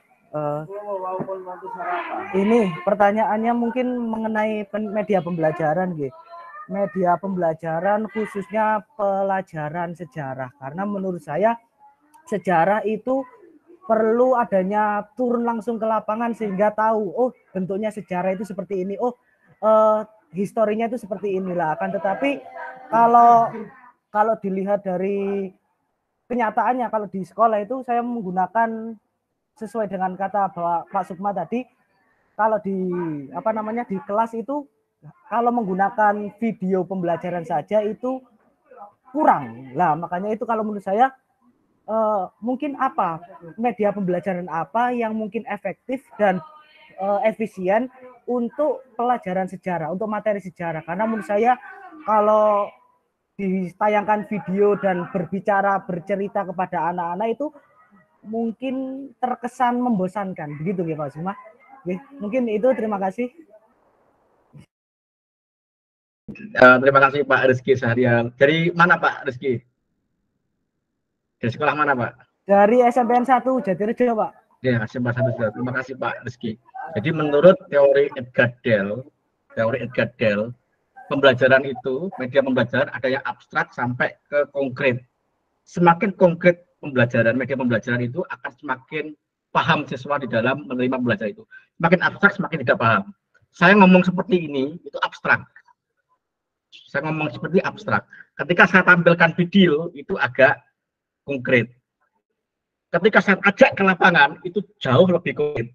Jadi, nggak pasti, semakin konkret media itu, semakin paham akan diingat sampai mungkin sampai tua sampai mati. Saya dulu pernah diajak Pak Rizky Sahrial, sebuah murid ke ke mana ke museum uh, uh, Mojokerto. Nah, di sana saya di, di tunjukkan ini dan itu bisa menyentuh langsung, bisa merasakan langsung, bisa melihat langsung, dapat cerita langsung. Nah, sehingga itu akan membuat uh, siswa akan ingat semakin siswa mereka. Nah, Kadang-kadang, tetapi tentu tidak ada media yang sakti ya. Ini paling efektif itu, tetapi tidak efisien, Pak.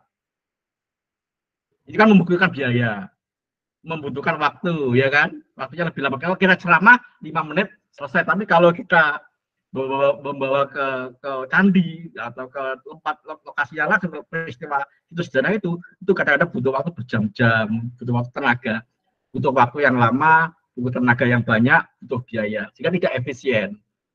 Ada lagi yang paling efisien ceramah. Ceramah itu paling efisien tetapi paling tidak efektif. Mana yang paling efektif ke lapangan langsung tapi tidak efisien. Nah, di tengah-tengah itu ada yang namanya media. Di tengah-tengah itu ada yang namanya ada yang namanya media termasuk dalam hal ini video, animasi, eh, apa gambar diam. Nah, itu adalah media untuk menjembatani kedua kutub ini. Ya. Dan setelah itu yang paling yang kalau gambar dibanding dengan uh, buk, apa, tulisan itu uh, suara itu abstrak, tulisan lebih konkret, kemudian gambar lebih konkret, kemudian video lebih konkret lagi. Jadi kalau itu ya ada ada ada apa ada semacam uh, piramidanya begitu ya. Yang mendekati uh, konkret ya tentu adalah animasi atau video yang bisa bergerak itu itu akan bisa menimbulkan suatu proses. Seperti itu Pak. Jadi Bapak Ibu nanti bisa sekali-kali perlulah kita ke lapangan ke situ-situ memang perlu, tetapi kalau itu dilakukan setiap setiap tema ya kita ngeok nanti. Nah, Iya, kali-kali ya itu Pak ya, harus ya. Siapa ya? Kira-kira seperti itu. Jadi kita harus juga kapan harus membuat tulisan media berupa tulisan kapan kita harus media berupa eh, video atau gambar atau sekali-kali kita ajak ke situs eh, sejarah itu sangat penting untuk menjadikan pembelajaran itu menjadi konkret. Seperti itu saya kira. Mohon maaf bila ada hal yang tidak berkenan. Ya, terima kasih, Pak.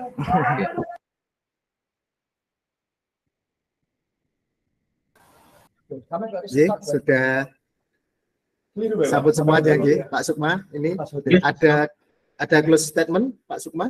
Ya, jadi begini Bapak Ibu, sebenarnya tadi media pembelajaran itu datang hadir untuk menjadikan pembelajaran menjadi lebih mudah. Intinya seperti itu. Jadi menjadikan pembelajaran itu lebih mudah agar diterima oleh siswa. Kalau dengan media itu pembelajaran lebih sulit, berarti kita gagal di dalam menyampaikan pesan kita kepada siswa kita. Itu yang bisa saya sampaikan. Terima kasih atas perhatiannya. Assalamualaikum warahmatullahi wabarakatuh. Waalaikumsalam warahmatullahi wabarakatuh. Bapak Ibu, eh, kita telah mengikuti eh, pemaparan materi yang telah disampaikan oleh empat narasumber. Eh, kita mulai besok akan memasuki eh, pembelajaran asinkronus. Pembelajaran asinkronus kita, kita tidak menggunakan WA Group Bapak Ibu, tetapi kita akan menggunakan Google Classroom sebagai pengganti LMS eh, yang ini memang kita kembangkan sendiri. Ya, yang paling sederhana adalah menggunakan Google Classroom. Eh, Bapak Ibu mohon berkenan untuk join di Google Classroom ter- yang di link di ini apa namanya di eh, kolom chat itu sudah ada linknya silahkan diklik dan untuk bersama-sama eh, kita join di Google Classroom dan materi kemudian penugasan asinkronus yang lainnya termasuk lembar kerja akan kami upload mulai malam hari ini dan bisa dikerjakan mulai besok sampai dengan tanggal 28 Agustus eh, 2023 di Google Classroom. Kemudian nanti pada tanggal 29 Agustus kita akan bertemu secara luring dan kita akan membahas yang telah kita pelajari secara asinkronus eh, di eh, Google Classroom. Sehingga nanti ketika kita eh, bertemu pada tanggal 29 Agustus kita akan eh, langsung eh, praktek ya karena kita akan menghasilkan yang namanya eh, modul ajar nantinya ini modul ajar yang memang berbasis pada kearifan lokal di daerahnya masing-masing. Tadi sudah saya sampaikan ada beberapa kelompok. Setiap kelompok itu eh, saya eh, kategorisasikan daerah yang memiliki kedekatan, ya, kedekatan dan memiliki tipologi sosial, tipologi geografi, tipologi sejarah yang hampir hampir sama gitu. Eh, nanti akan saya share di eh, Google Classroom.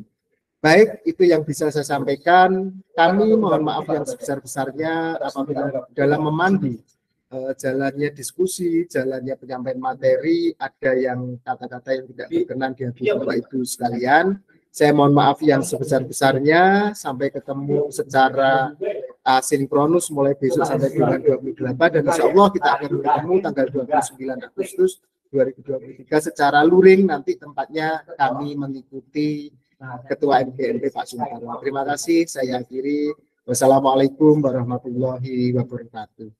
Waalaikumsalam Warahmatullahi wabarakatuh. Mana pertemuan?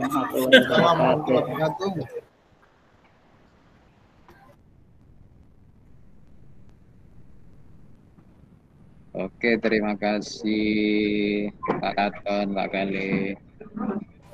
J Pak Suntoro. Ya, insya Allah nanti pelaksanaan tanggal 29 di SMP 1 Suko. SMP 1 Suko. Siap, siap, siap. Iya, Alhamdulillah nanti, dekat. nanti ditunggu, di, ditunggu teman-teman.